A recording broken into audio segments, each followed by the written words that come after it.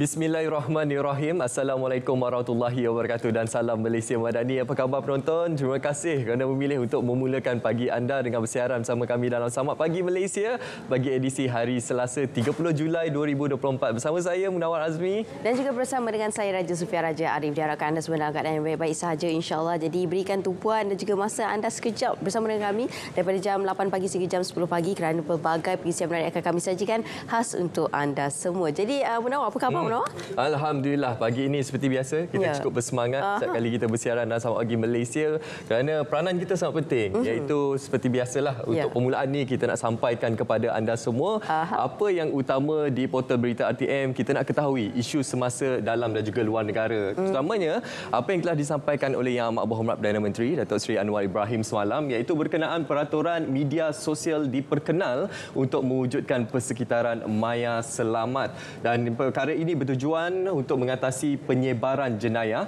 serta maklumat berbahaya sekaligus mewujudkan persekitaran maya yang selamat untuk semua pengguna. Perdana Menteri menyatakan langkah itu juga bagi mendidik pengguna media sosial supaya lebih sensitif dan hmm. tidak menggugat keamanan dan ketenteraman masyarakat. Betul dan antara perincian juga di sini iaitu dengan masalah yang timbul sekarang kerajaan cuba memperkenalkan beberapa sekatan yang tidak berapa popular tetapi apa yang paling penting adalah untuk mereka yang mempercayai tanpa kekangan dan dan halangan menggunakan kebebasan dalam media sosial. Jadi perlu untuk kita memperbetulkan kembali lah apa yang yang tak sepatutnya disebarkan di media sosial dan di, jadi antara yang lain juga kerajaan punya hak untuk menyatakan peraturan yang memberi impak kepada masyarakat.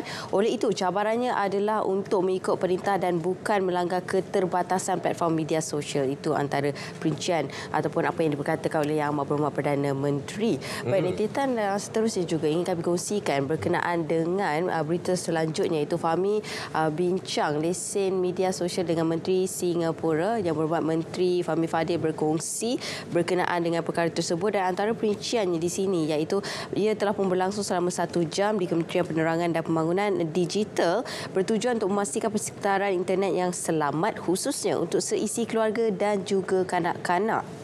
Hmm, dan Suruhanjaya Komunikasi dan Multimedia Malaysia MCMC hmm. pada Sabtu lalu mengumumkan bahawa semua perkhidmatan media sosial dan pesanan internet yang mempunyai sekurang-kurangnya hmm. 8 juta pengguna berdaftar di negara ini perlu memohon lesen kelas pemberian perkhidmatan aplikasi mulai 1 Ogos sebagai sebahagian daripada rangka kawal selia baharu yang akan diperkenalkan. Singapura hmm. mempunyai rangka kawal selia ke atas platform media sosial di negara itu sejak 2020 2022 dan uh, Malaysia mungkin akan mengikuti jejak langkah ya. negara maju seperti Singapura. Dan mhm. seterusnya, uh, ini uh, berikutan dengan cuaca panas pada mm-hmm. ketika ini. Seperti yang kita sedia maklumkan, sekarang ya. ini sangat panas. Cuacanya ada beberapa lokasi yang dikenal pasti sebagai kategori tahap satu untuk ya. cuaca panas pada ketika ini dan sepastinya uh, perkara ini menjadi perhatian oleh kerajaan iaitu berkenaan operasi pembenihan awan OPA mm-hmm. yang akan dilaksanakan di negeri Perak dan juga Kedah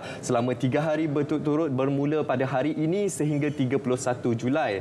Dan Timbalan Perdana Menteri uh, Datuk Seri Dr. Ahmad Zahid Amidi menyatakan operasi tersebut bagi meningkatkan paras air empangan Bukit Merah, Perak dan empangan muda Kedah untuk tujuan pertanian dan kegunaan air domestik. Beliau berkata usaha tersebut adalah salah satu usaha kerajaan ya. menangani kesan fenomena cuaca panas dan monsun barat daya yang dijangka berterusan sehingga penghujung September 2020. 2024. Ya, dan antara lain juga OPA dilaksanakan atas permohonan uh, Lembaga Kemajuan Pertanian Muda uh, MADA dan Kawasan Pembangunan Pertanian Bersepadu uh, Kerian serta Lembaga Sumber Air Negeri Kedah melalui penyelarasan antara Agensi Pengurusan Bencana Negara, NAKMA, Kementerian Pertanian dan Keterjaminan Makanan, Jawatan Meteorologi Malaysia, MET Malaysia dan Tentera Udara Diraja Malaysia iaitu TUDM. Jadi MET Malaysia juga terus menjangkakan taburan hujan di Kedah dan Perak rendah sehingga September September 2024. Jadi ini antara usaha yang turut dilakukan oleh pihak kerajaan untuk memastikan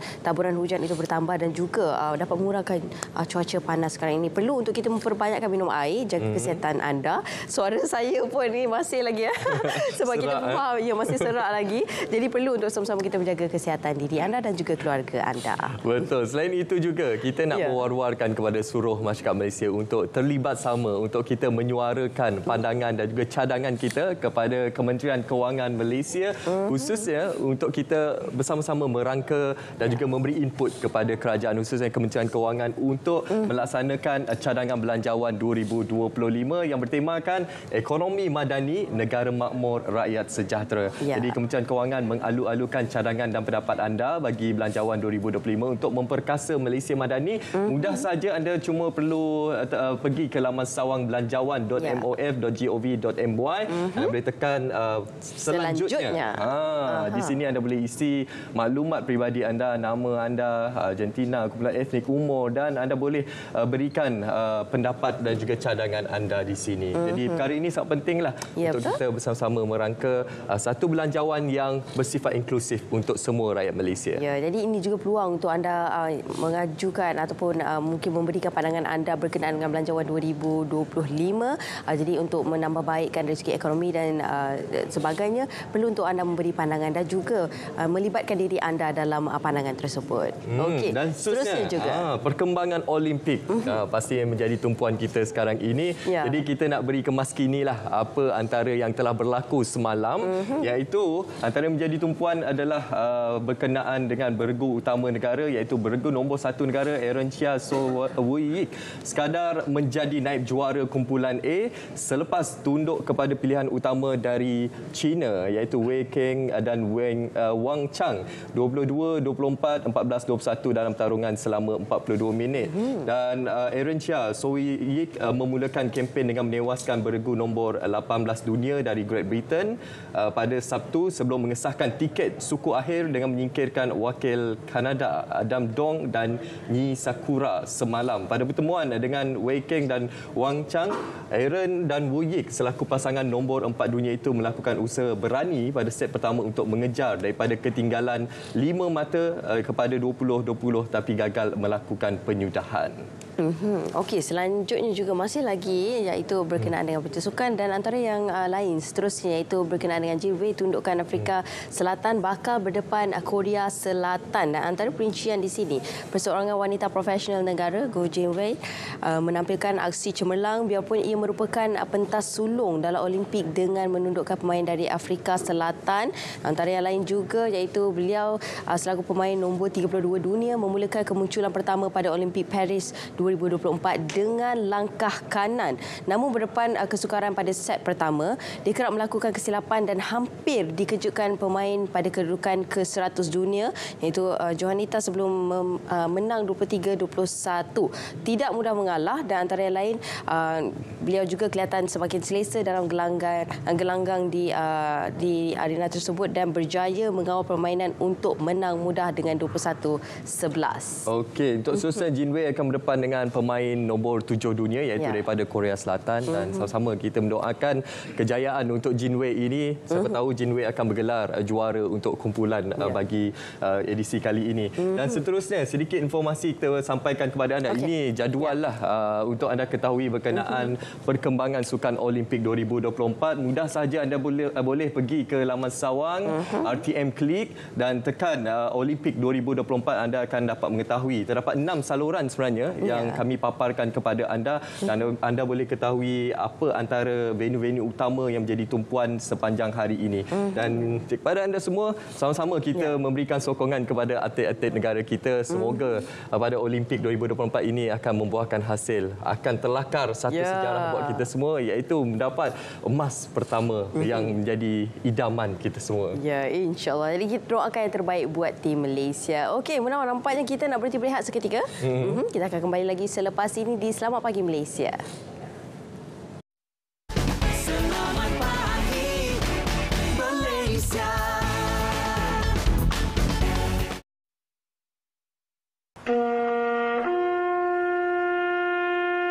Biarpun nyawa di hujung tanduk, takkan berundur walau selangkah.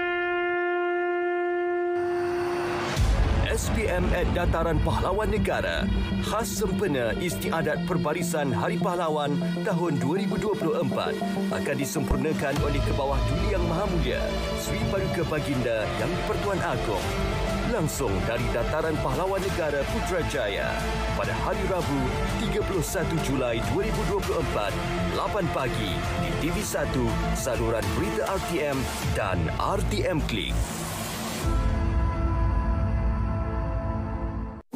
Kenapa perlu bayar? Kalau anda boleh saksikan secara percuma Raikan kemeriahan semasa sukan terbesar dunia ini bersama kami di RDM, penyiar rasmi. Bila kita sebut jiwa merdeka, kita nak tanam semangat di kalangan rakyat bahawa negara ini tidak mungkin tercapai kemerdekaan kalau tidak dengan pengorbanan dan tidak dengan kekuatan semua di negara ini. Ini bukan isu kaum, bukan isu parti, bukan isu kedudukan atau pekerjaan. Ini soal jati diri, soal maruah, soal harga diri. Ini satu negara bila merdeka, kibaran bendera itu meluas di seluruh negara. Dia pasang di setiap gerai dan warung dan rumah dan pondok, setiap sekolah dan masjid dan kuil dan gereja, setiap jabatan yang saya minta kibarkan jalur gemilang. Boleh? Boleh? Jadi kita kena pastikan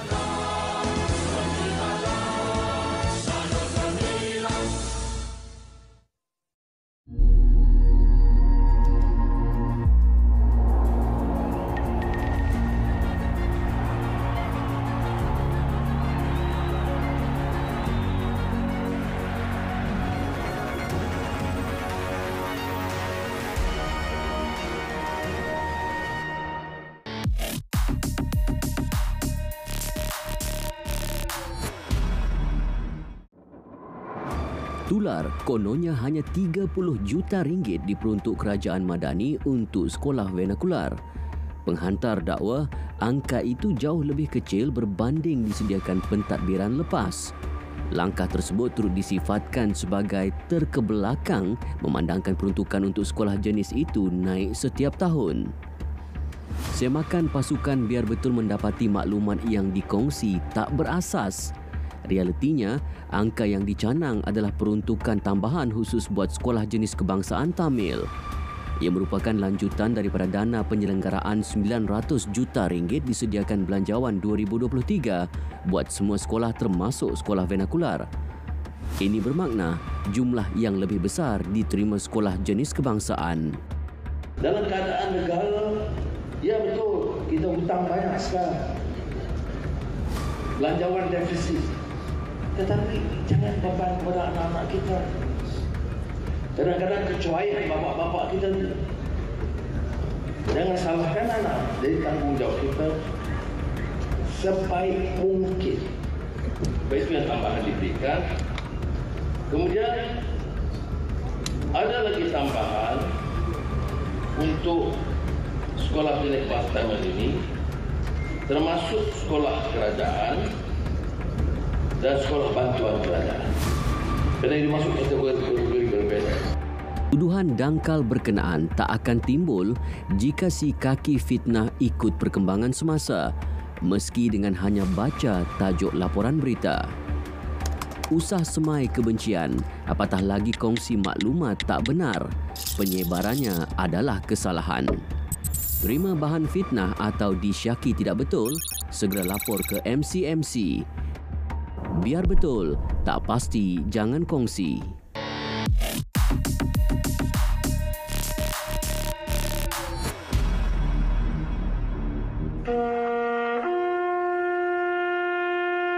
Biarpun nyawa di hujung tanduk, takkan berundur walau selangkah. SPM at Dataran Pahlawan Negara khas sempena Istiadat Perbarisan Hari Pahlawan tahun 2024 akan disempurnakan oleh Kebawah Duli Yang Maha Mulia Sri Paduka Baginda Yang Pertuan Agong langsung dari Dataran Pahlawan Negara Putrajaya pada hari Rabu 31 Julai 2024 8 pagi di TV1 saluran berita RTM dan RTM Klik.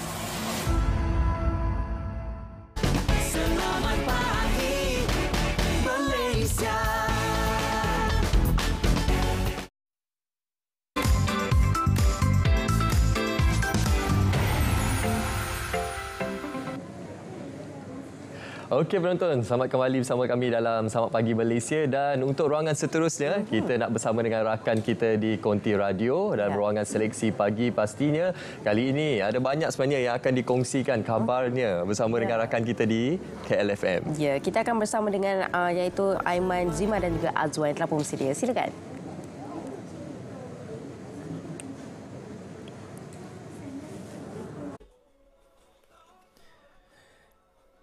Baik, itu dia lagu daripada Lukman Faiz dengan Loko-Loko bersama-sama dengan kami. Terima kasih kita ucapkan kepada Munawar Azmi dan juga Raja Sufia dari studio. Selamat pagi Malaysia. Assalamualaikum. Dan selamat pagi untuk semua. Kembali lagi bersama-sama dengan kami bertiga. Saya Aiman Sabri Putra Azwan dan juga Zima Syariza untuk seleksi pagi di Rentak Pagi KL. Baik, kami bawakan kepada anda mengenai rangkuman aktiviti KLFM yang berlangsung di sana dan sini dalam masa terdekat ini.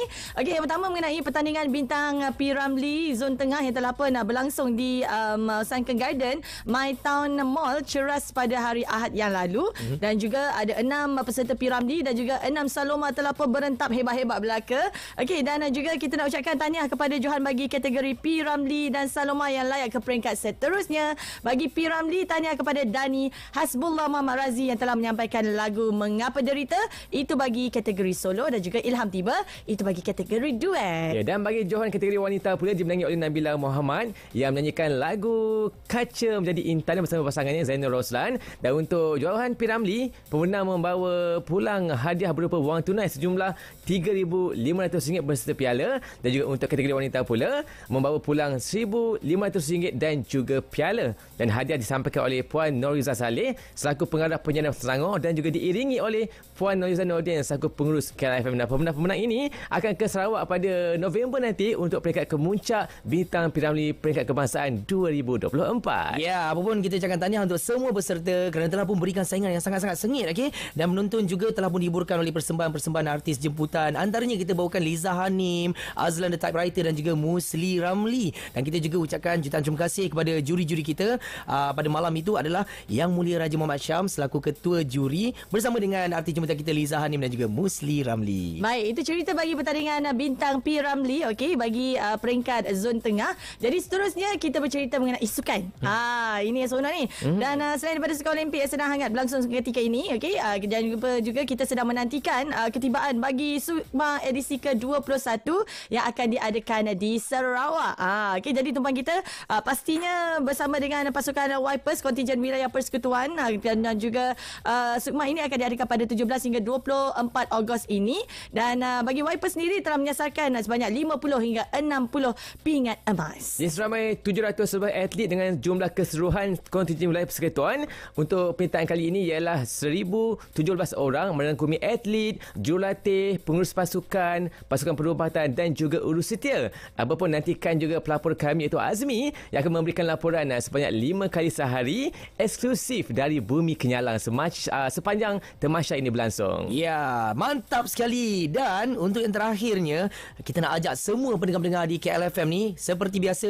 teruskan undian anda. Kat mana tahu? Dekat laman web kami klfm.rtm.gov.my semuanya untuk hashtag ini Carta KL dan kalau minggu lepas kita dah ada Nomad selaku tetamu jemputan kita minggu ini. Nantikan kemunculan Han Biol yang akan uh, bersama-sama dengan pengacara-pengacara hashtag ini Carta KL. Uh, Han Biol ni dari Korea tau dan beliau dalam rangka promosi lagu yang bertajuk Jodoh. Ah, jadi jangan lupa dengarkan perkembangan terbaru Han Biol dalam hashtag ini Carta KL bermula pukul 2 petang hingga pukul 4 petang hari Sabtu dan juga ulangannya hari Ahad 10 pagi hinggalah pukul 12 tengah hari. Okey, itu dia bagi uh, rangkuman untuk aktiviti KLFM dalam waktu yang terdekat ini kita bawakan kepada anda. Jadi sekarang ini juga jangan lupa untuk anda mendengarkan uh, Rentak Pagi KL bersama dengan kami bertiga. Mhm. Okey, kita cerita mengenai apa hari ini Azwan? Ini mengenai seorang adik ni yang menjalani latihan uh, goalkeeper hmm. untuk bola sepak tapi latihannya agak luar biasa Ah. sebab macam ala-ala camp tentera tau. Menangis adik ni. tapi ibu dekat sebelah bagi sokongan. Jangan nangis Zik, jangan nangis. Ini antara antara effort ataupun usaha sebelum dia mungkin menjadi uh, pemain yang berjaya satu hari Ya, nanti. kita nak berikan yang terbaik. Apa pun terima kasih kepada uh, anda semua yang bersama-sama dengan kami. Jadi setakat ini sahaja kita nak kembali bersama dengan rakan pengacara kita uh, Munawar dan juga Raja Sofia. Silakan. Okey, terima kasih rakan kita di Konti KLFM iaitu Aiman, Zima dan juga Azwan Ya. untuk rangkuman aktiviti KLFM sepanjang minggu ini. Dan seterusnya, kita nak beralih ke segmen pertama kita Ya. iaitu berkenaan inisiatif Mina ASEAN menghubungkan budaya. Ya, betul. Dan kita bersama dengan tetamu kita di studio. Saya kenalkan pada pagi ini kita bersama dengan Tuan Segaran S. Madhavan, uh, Presiden Inisiatif Mina ASEAN dan juga ditemani oleh uh, Tuan Muhammad Khairil Hisham Muhammad Ashari merupakan kurator uh, galeri di Raja Tuanku Jaafar. Assalamualaikum, selamat pagi. Selamat pagi. Ya. Okey, mungkin untuk permulaan ni kita beralih kepada Encik Khairil terlebih dahululah. Uh, ialah sebagai seorang kurator galeri di Raja Tunku Jaafar. Mungkin kita boleh berikan sedikit gambaran mukadimah kepada masyarakat uh, khususnya berkenaan penubuhan galeri ini. Okey, baik. Terima kasih. Terima kasih, Munawar. Uh, galeri ini ditubuhkan pada 2011 mula dibina dan uh, siap dibuka kepada pengunjung pada tahun 2016. Okay, secara umumnya galeri ini mempersembahkan uh, mengenai isti- adat istiadat diraja di Negeri Sembilan dan juga uh, yang pernah menyandang Yang Tuan Besar Negeri Sembilan. Uh-huh. Okay, samping itu kita memberi peluang kepada masyarakat untuk melihat bagaimana rupa bentuk singasana di Istana Besar Seri Menanti. Hmm. Okay, uh, dalam masa yang sama, kita bukan tertumpu pada itu saja. Kita juga membuat uh, contoh Uh, kita buat dari segi budaya, uh, tekstil untuk memperkenalkan bagaimana pakaian diraja hmm. yang pernah dipakai oleh uh, Tuanku Empan Besar Negeri Sembilan dan juga Yang Tuan Besar Negeri Sembilan yang terdahulu. Hmm. Itulah secara Ah. umumnya. Jadi itu dia seperti yang tertera di kaca TV ini. Ini merupakan gambaran je lah kan apa yang dapat dipertontonkan. Ya, betul. Okey. Dan selain daripada itu tu- Tuan, mungkin kita boleh uh, kongsikan juga kepada uh, para uh, tetamu ya. Tuan Segaran kepada para penonton semua berkenaan dengan uh, apakah kepentingan tekstil bunga lado dalam konteks uh, fashion lestari ini. Si, ya. bunga lado ni uh, adalah satu apa tekstil tradisional Okey. yang memperkayakan kebudayaan orang Negeri Sembilan. Mm-hmm. Okey. Um, inisiatif Mina ASEAN ini akan mengambil apa akan memperkukuhkan uh, budaya bersama dengan negara Morocco. Itulah inisiatif Mina kita, mm-hmm. Mina ASEAN ni. Mina ASEAN ni sebelum tu, apa tu Mina? Mm. Mina ialah Middle Eastern North African initiative. So kita bermula dari Negeri Sembilan. Um, kita akan membuat pelancaran uh, kapet hijau okay. uh, di Negeri Sembilan, Fashion Negeri Sembilan pada hari esok. Oh. Uh, ini akan mempromosikan Negeri Sembilan ke luar negara. Hmm. Dan min, uh, inisiatif Mina ASEAN mengambil apa inisiatif ini dengan negara Morocco hmm. di mana kita akan membuat pelancaran bersama besok hmm. di galeri di Raja Negeri Sembilan dan akan memperkayakan bunga lado dengan kaftan Morocco. Wow. So this is something different. Yeah. Yang tak pernah I- I- tidak ada ses- ada organisasi yang membuat perkara seperti ini. Oh. Di samping itu selain daripada fashion lestari, Okey. kita akan membuat perhubungan perdagangan, ekonomi uh, serta perlancongan dengan fashion lestari. Ya. Okey, bercakap berkenaan bunga lado ini yang cukup sinonim dengan Negeri Sembilan. Baik, betul. Cik Khairil, apa yang ada di hadapan kita ini? Ya. Mungkin kita boleh ceritakan baik. kepada para penonton. Uh, bunga lado ni salah satu daripada identiti, identiti Negeri Sembilan. Negeri Sembilan ada 12 identiti dan uh, untuk bunga kita pilih bunga lada. Hmm. Bunga lada ni kita tahu Negeri Sembilan ni sinonim dengan masak lemak cili api. Ah. Uh, okay? Jadi bunga lada itu menggambarkan uh, betapa pedasnya ya, kemasakan orang Negeri Sembilan ya. Dan uh, kalau kita tengok kelopak uh, bunga lado dan juga stamen dan juga stigma tu menggambarkan uh, undang yang empat, Tugu Besar Tampin dan Tuanku. Mhm. Jadi bunga lado itu sendiri menggambarkan uh, kedudukan uh, institusi adat di Negeri Sembilan. Ya. Okay, kalau kita tengok di atas meja ini adalah uh, songket uh, bunga lado yang kita garapkan dengan ukiran di Istana Lama Seri Menanti dan juga daun gambai. Ini di Johor yang popular dengan apa uh, daun gambai. Ah. Jadi kita garapkan sekali identiti Negeri Sembilan itu supaya kita boleh mengangkat eh, budaya uh, apa yang ada di Negeri Sembilan ini kita masukkan bersama-sama dengan pakaian baju kebaya setengah tiang Hmm. yang dipakai oleh Tuanku Kursia, Tuanku Durah dan Tuanku Ampuan Najihah. Jadi uh, inilah peluang untuk kita dengan Mina ASEAN, ASEAN untuk menengahkan uh, identiti Negeri Sembilan ke Morocco. Hmm. Okey, dan uh, ia juga akan berlangsungnya pameran. Ya, pameran dia. Uh, di mana dan sehingga bila? Okey. Tuan. Uh, baru-baru ni kita buat pertandingan mereka bentuk batik bunga lado dengan pelajar-pelajar USIM. Uh, besok kita akan buat pelancaran Haiti mm-hmm. dan kita pamerkan uh, pameran uh, pemenang tu dalam masa yang sama kita juga akan buat pameran tekstil di Galeri Diraja Tuanku Jaafar. Mm-hmm. Uh, seterusnya pada bulan 8 nanti kita akan ada night show Gala. gala gala night Ah. gala dinner ya. untuk kita tunjukkan yang kita telah hasilkan dengan uh, produk bunga lado ini. Hmm, menarik. Okey. Dalam masa yang sama kita juga telah buat pendant Okey. dan juga kerongsang bunga lado. Wow, cantik tak? Okey, cukup menarik. Pastinya ini antara yang akan menjadi uh, tarikan utama lah Ya. semasa uh, berlangsungnya pameran ini nanti kepada para pengunjung yang bakal hadir. Okey, kita berbalik kepada inisiatif Mina ASEAN ini. Bagaimana ianya penting uh, membawa satu impak kepada negara kita dari sudut bukan sahaja dari sudut tekstil tapi juga dari sudut pelancongan, hospitality, pelaburan dan juga kerjasama-kerjasama strategi yang lain yang mungkin boleh berlaku sepanjang inisiatif Si- ini. Misi dan visi Mina ASEAN adalah untuk mem, mem, mempromosikan kebudayaan pertukaran atau pertukaran kebudayaan. Mm-hmm. You know, cultural exchange mm. dengan perdagangan ekonomi serta uh, pelancongan mm. dengan fashion lestari. And um, kita akan uh, uh, kita dah bekerja sama dengan badan-badan berkanun uh, di negara ini seperti Maida, Matret hmm. dengan Kementerian Luar Negeri hmm. serta uh, Tourism Malaysia yang sungguh reseptif dengan kita punya hmm. inisiatif dan mereka akan bekerjasama dengan kita hmm. untuk membawa uh, peniaga-peniaga syarikat-syarikat swasta dengan badan-badan berkanun ke negara Morocco ah. yang akan uh, pada masa ini kita telah fixkan pada akhir bulan November. Hmm. Di mana kita akan menghimpunkan semua peniaga-peniaga yang ingin nak berniaga di negara Ah? luar seperti Morocco. Wow. Uh, kita dah ambil uh, banyak inisiatif, kita dah buat banyak kerja. Kita pun telah apa uh, mula um, uh, what what shall I say connection mm-hmm. dengan badan berkanun di Morocco dengan kerjasama kedutaan Morocco Ah. dengan kedutaan Malaysia.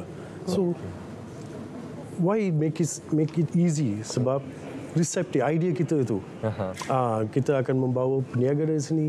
Kita mengadakan uh, himpunan hmm. uh, apa, syarikat-syarikat swasta hmm. ke negara Morocco. Wow. Sebab di sana ada banyak peluang. Betul? Mm-hmm. And Mina Initiative ini akan uh, uh, mempromosikan segala uh, bilang-bilang ini kepada rakyat Malaysia. Hmm, okey. Ini dikira sebagai satu uh, platform yang terbaik lah Betul. untuk uh, para pengusaha peniaga Oh, di yeah. uh, negara kita khususnya di Negeri Sembilan untuk mereka memasarkan produk mereka dan melakukan padanan perniagaan dengan uh, negara Morocco. Tapi persoalannya bagaimana pada awalnya uh, idea untuk bekerjasama dengan pihak negara Morocco? Apa cabarannya? Kenapa memilih Morocco? Ah, kenapa memilih Morocco? Ya. Si, negara Morocco ini terletak di Afrika Utara. Hmm. Afrika sebagaimana kita tahu kita, adalah uh, Afrika Utara adalah satu uh, entry point. Mhm. Afrika Utara entry point ke Afrika and Afrika is a, is a new uh, continent yang mem- di mana bisnes tu akan ber, kembang. And Morocco merupakan satu negara yang stabil politiknya. So that's the most important thing. Betul. The stability, political stability important. Betul. And mereka tidak mempunyai apa-apa masalah dan kedutaan uh, Malaysia pada masa itu Datuk Astana telah uh, apa, ber, apa ber, ber, ber, berbincang dengan partner saya bernama Puan Suraya. Then she actually yang telah initiate that kita mulakan inisiatif Morocco ini. Inisiatif Mina ASEAN. Uh, dari sana kita telah mula bekerja dan sekarang dah besok adalah tahap kemuncak kita Ya. di mana penaung kita yang amat mulia Tunku Puteri, Tunku Puteri Puan Sri Datuk Sri, Datin Sri Jahwe binti Ab, uh, almarhum Tuanku Jaafar. Tunku Jaafar adalah penaung uh, kapet hijau dan fashion lestari Negeri Sembilan serta beliau juga adalah penaung Mina ASEAN. Uh, so we have got royal patronage with us. Ya, wah.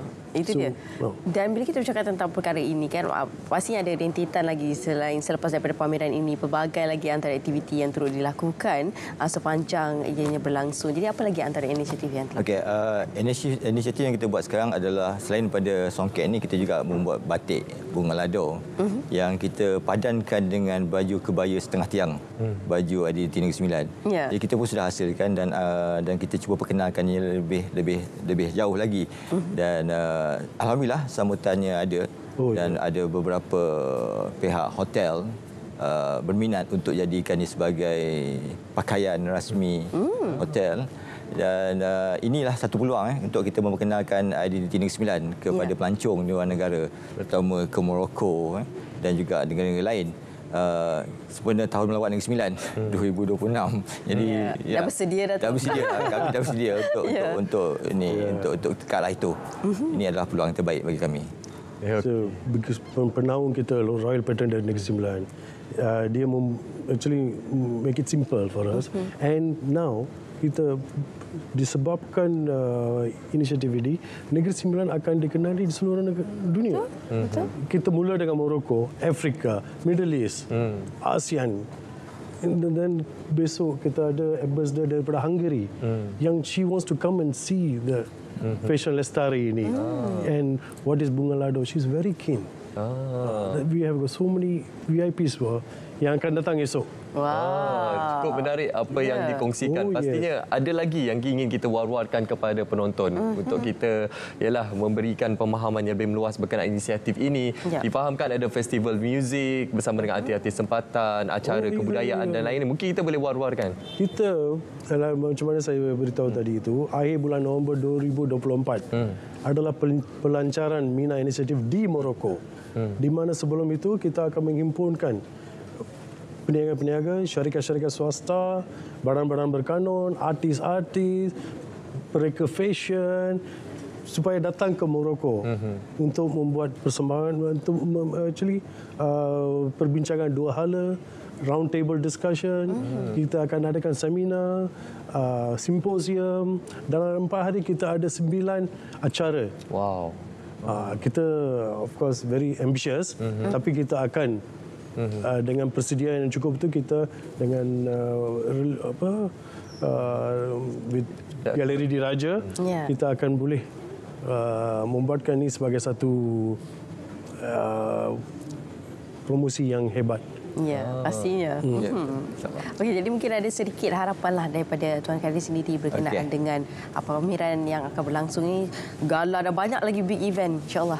Okey, uh, kami berharap uh, kita akan buat pameran tekstil dan kita salah satunya adalah pakaian diraja dan juga kita akan memamerkan pakaian istana yang berusia ham- lebih daripada 100 tahun yang masih Wow. lagi boleh uh, dilihat dan dipegang eh. Uh, cuma tak boleh pakai lah sebab dah dah dah koyak.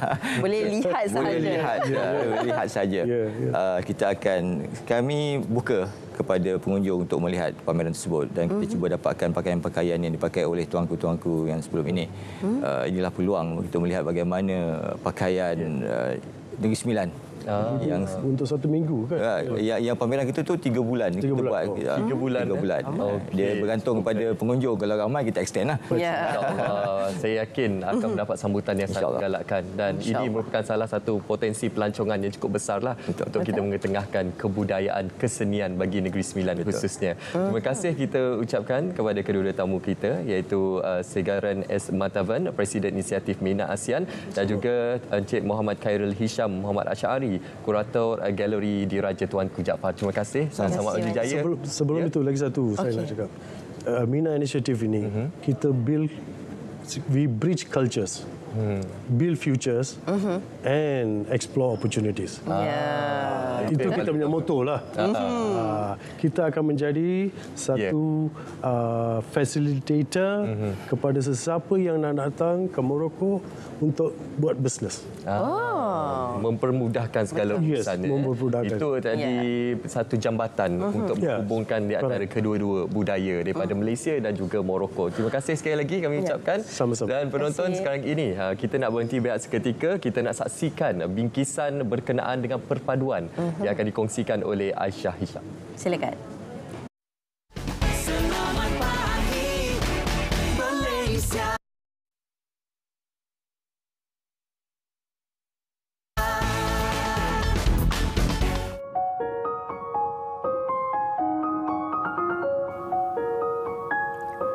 Kehadiran Rafi'i, Rashid dan Rahman sejak 16 tahun lalu mengubah kehidupan Uncle Mike sepenuhnya.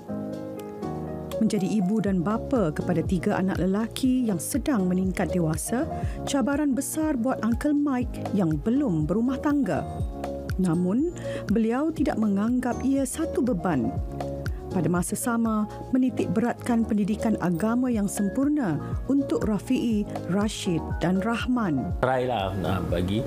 Tak ada beza dengan yang orang lain lah. Uh, macam mereka kena puasa, puasa dan kena uh, buku tujuh kena buka puasa makan juada dah ada. Uh, tu solat kena kena cukup. Uh, macam tu lah. Uh, so ustaz lah yang yang tolong saya uruskan uh, benda-benda yang saya tak uh, tak faham. Macam saya uh, saya still after 16 years saya still macam ni. But my three adopted kids they are still uh, uh, Muslim. So tak nampak pun kita tak boleh duduk satu rumah. Then the same lah go to our country.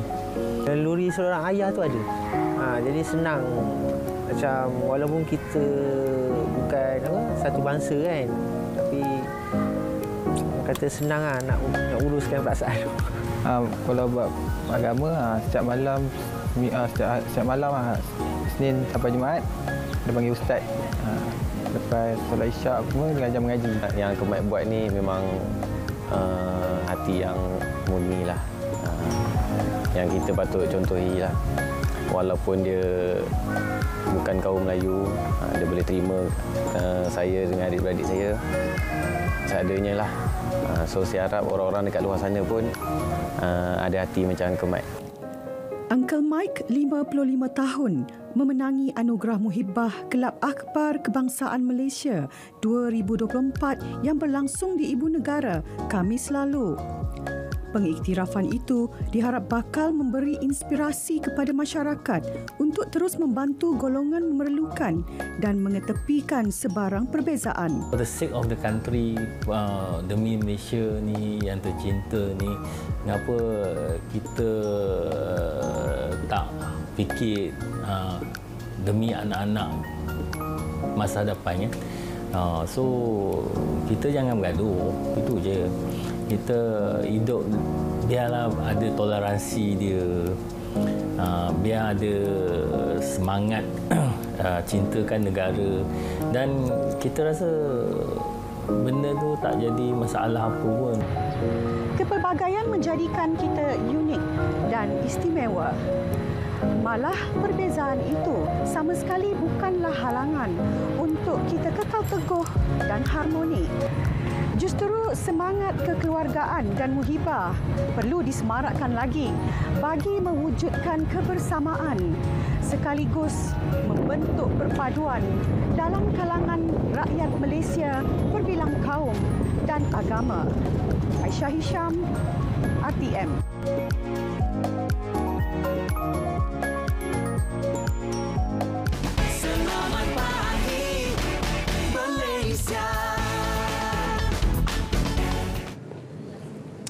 Okey penonton, seterusnya kita akan berbicara berkenaan MAPA. Bagaimana melalui MAPA ini akan memperkasakan perkhidmatan awam. Jadi untuk perinciannya, kita ketahui bersama dengan tetamu kita iaitu Dr. Nur Mazni Abdul Majid. Dia merupakan pengarah bahagian penyelidikan, perancangan dan dasar Jabatan Perkhidmatan Awam. Assalamualaikum Doktor. Waalaikumsalam.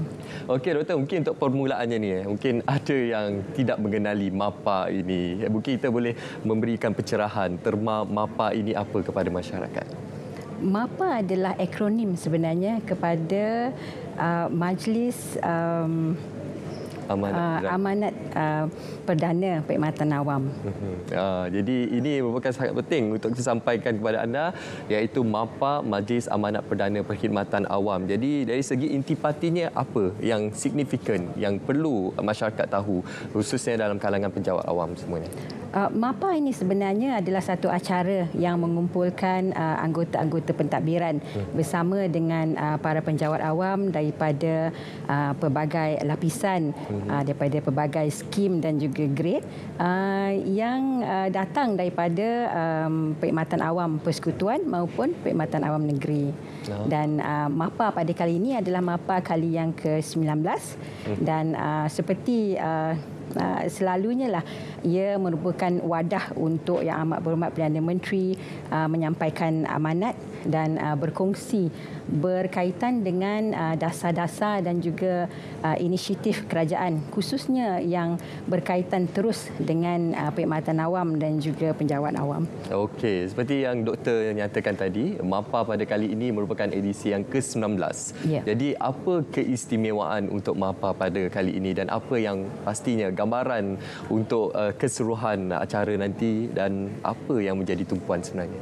Uh, tema MAPA untuk tahun ini yang akan diadakan pada 16 hari bulan Ogos ini bertempat di uh, pusat uh, konvensyen antarabangsa Putrajaya adalah um, memperkasakan perkhidmatan awam dan um, seperti saya rasa umum sedia tahu dan juga pernah dikongsi oleh yang amat berhormat Perdana Menteri kita sebelum ini um, tumpuan ataupun fokus utama uh, MAPA pada kali ini adalah pengumuman berkaitan dengan pelaksanaan uh, sistem saraan perkhidmatan awam yang baru.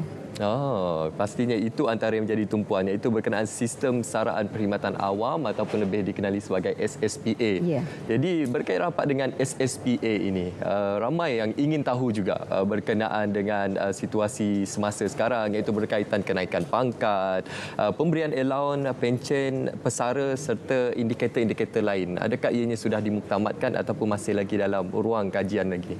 Uh, suka saya berkongsi ya Menawar sebenarnya pembangunan uh, sistem saraan perkhidmatan baru ini adalah berdasarkan satu uh, kajian yang telah kita jalankan yang telah bermula pada um, bulan Ogos sekitar Ogos 2023 ya. Dan um, Uh, setakat ini uh, Jabatan Perkhidmatan Awam telah menyerahkan uh, dua laporan dan kami jangkakan laporan akhir untuk kajian ini akan siap dan dikemukakan kepada Yang Amat Berhormat Perdana Menteri sendiri pada uh, ataupun semasa berlangsungnya MAPA yang ke-19 ini. Hmm. Um, amanat yang amat berhormat Perdana Menteri sebenarnya adalah untuk Jabatan Perkhidmatan Awam memastikan dalam kita melaksana kajian ini uh, kita mengambil kira hmm. semua uh, pandangan uh, input daripada setiap lapisan Uh, penjawat awam. Hmm. tidak mengira uh, skim grade dan sebagainya. Dan uh, kita memastikan juga pelibatan daripada uh, pihak-pihak pemegang taruh seperti um, majlis bersama jabatan uh, kongres-kongres ataupun uh, persatuan uh, persatuan uh, perkhidmatan awam dan sebagainya. Dan uh, khususnya uh, bersama-sama dengan uh, QPEX untuk melihat kepada uh, isu dan cabaran yang dihadapi uh, oleh penjawat awam pada masa ini dan um, saya kira daripada segi takbir urus um, pelaksanaan uh, kajian ini adalah uh, sangat kemas ya. Hmm. Uh, bila mana uh, jawatankuasa induknya dipengerusikan sendiri oleh Yang Amat Berhormat Perdana Menteri Oh. dan um, seterusnya kita ada jawatankuasa teknikal yang dipengerusikan oleh Yang Berbahagia Datuk Seri uh, KPPA kita Mhm. dan yang dianggotai oleh uh, ketua-ketua setiausaha dari pelbagai sektor dan sebagainya. Dan yang lebih penting adalah anggota kerja ataupun jawatankuasa kerja yang kita Ya. tubuhkan di uh, Jabatan Perkhidmatan Awam itu sendiri yang telah memberikan uh, seluruh uh, tenaga ya dan tumpuan untuk selama uh, setahun kebelakangan ini kepada pembangunan um, sistem saraan yang baru ini. Okey, seperti yang uh, doktor nyatakan tadi, apa yang telah dilaksanakan pada ketika ini adalah kajian SSPA, adalah kajian yang bersifat menyeluruh, uh, iaitu mengambil kira semua kelompok dalam perkhidmatan awam uh, tanpa mengira grade ataupun jawatan, skim perkhidmatan dan sebagainya. Jadi, apa yang menjadi utama dalam kajian ini? Bagaimana penambahbaikan yang dilaksanakan? Kita difahamkan terdapat 30 inisiatif dengan beberapa skop utama, Puan. Ya, um, sebenarnya kajian ini uh, terbahagi kepada dua fasa Mhm. dan uh, di fasa yang pertama ini kita melihat kepada uh, beberapa inisiatif yang um, saya kira menumpukan kepada um, isu-isu dan cabaran yang uh, dihadapi oleh perkhidmatan awam pada masa ini dan um, isu dan cabaran itu uh, tentulah yang utamanya adalah uh, daripada segi uh, mengimbangi ataupun uh, menyelaraskan um, pendapatan boleh guna penjawat awam Mhm. uh, dengan uh, peningkatan kos sara hidup yang kita hadapi pada masa ini dan um, pada Jabatan Perkhidmatan Awam uh, Mhm. kita melihat walaupun kita melihat secara menyeluruh tetapi keutamaan kita berikan kepada uh, setengah-setengah uh, golongan ataupun uh, di grade-grade tertentu yang lebih uh, memerlukan uh, kepada penyelarasan um, gaji ini. Dan uh, seterusnya bukan sahaja kita melihat kepada isu dan cabaran daripada segi uh, kos hidup ya kita juga melihat kepada um, perubahan-perubahan yang uh, dialami oleh uh, perkhidmatan awam pada masa ini uh, disebabkan oleh perubahan uh, persekitaran, perubahan uh, cara kerja dan sebagainya uh, yang um, terjadi disebabkan um, uh, faktor-faktor seperti uh, perubahan pantas teknologi dan pendigitalan Ya. dan seterusnya um, kita juga melihat kepada um, kemampanan um, uh, fiskal negara sendiri.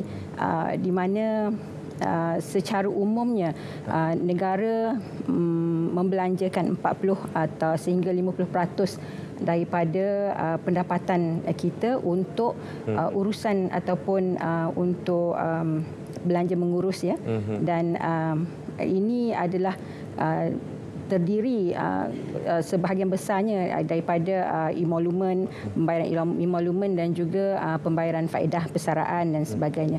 Jadi apa yang penting um, ya, masalah ini bukan masalah yang tertumpu pada Malaysia saja ya. Betul. Ia dihadapi oleh seluruh negara Hmm. uh, dengan negara-negara membangun, negara yang sedang yang telah membangun dan sebagainya. Hmm. So apa yang perlu kita buat adalah melihat kepada uh, langkah-langkah mitigasi yang boleh kita ambil uh, supaya um, isu ini tidak tidak menjadi lebih uh, buruk Hmm. dan langkah-langkah itu perlu kita ambil awal. Mhm. Langkah mitigasi ini adalah langkah yang sangat penting untuk kita melihat kepada kemampanan ekonomi negara, Ya. kewangan negara dan juga apa yang utama dari segi kesejahteraan masyarakat secara awamnya. Jadi perkara ini mungkin kita akan perhalusi dan seperti yang kita war-warkan tadi, uh, tarikh untuk MAPA ini sekali lagi puan Adalah pada 16 hari bulan Ogos 2024.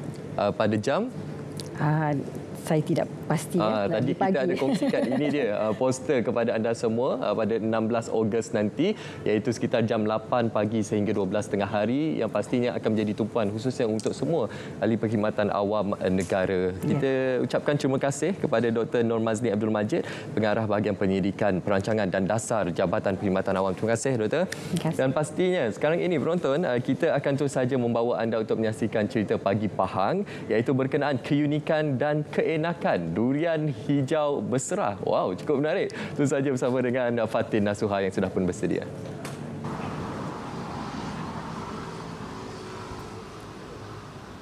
Terima kasih kepada rakan penyampai di Angkasa Puri. Assalamualaikum dan salam Malaysia Madani. Baiklah cerita pagi lintas langsung dari Pahang hari ini saya bawakan kepada anda uh, dari Kampung Berserah Kuantan Pahang. Dan pada hari ini saya nak menceritakan kepada anda mengenai keistimewaan uh, durian hijau berserah yang mana dikatakan uh, durian ini lebih enak rasanya daripada musangking. Ah dan juga ini adalah merupakan kata sesetengah individu yang membuatkan raja buah ini mendapat tempat ataupun menjadi rebutan apabila tiba musim dia. Uh, dan uh, juga durian hijau berserah adalah sejenis uh, durian kahwin yang menjadi antara yang popular di kalangan penggemar raja buah oleh kerana katanya ia mempunyai rasa yang lain dan juga dikatakan isi buah durian hijau ini juga mempunyai isi yang tebal, isi yang tidak terlalu tebal dan juga tidak menyebabkan rasa cepat muak.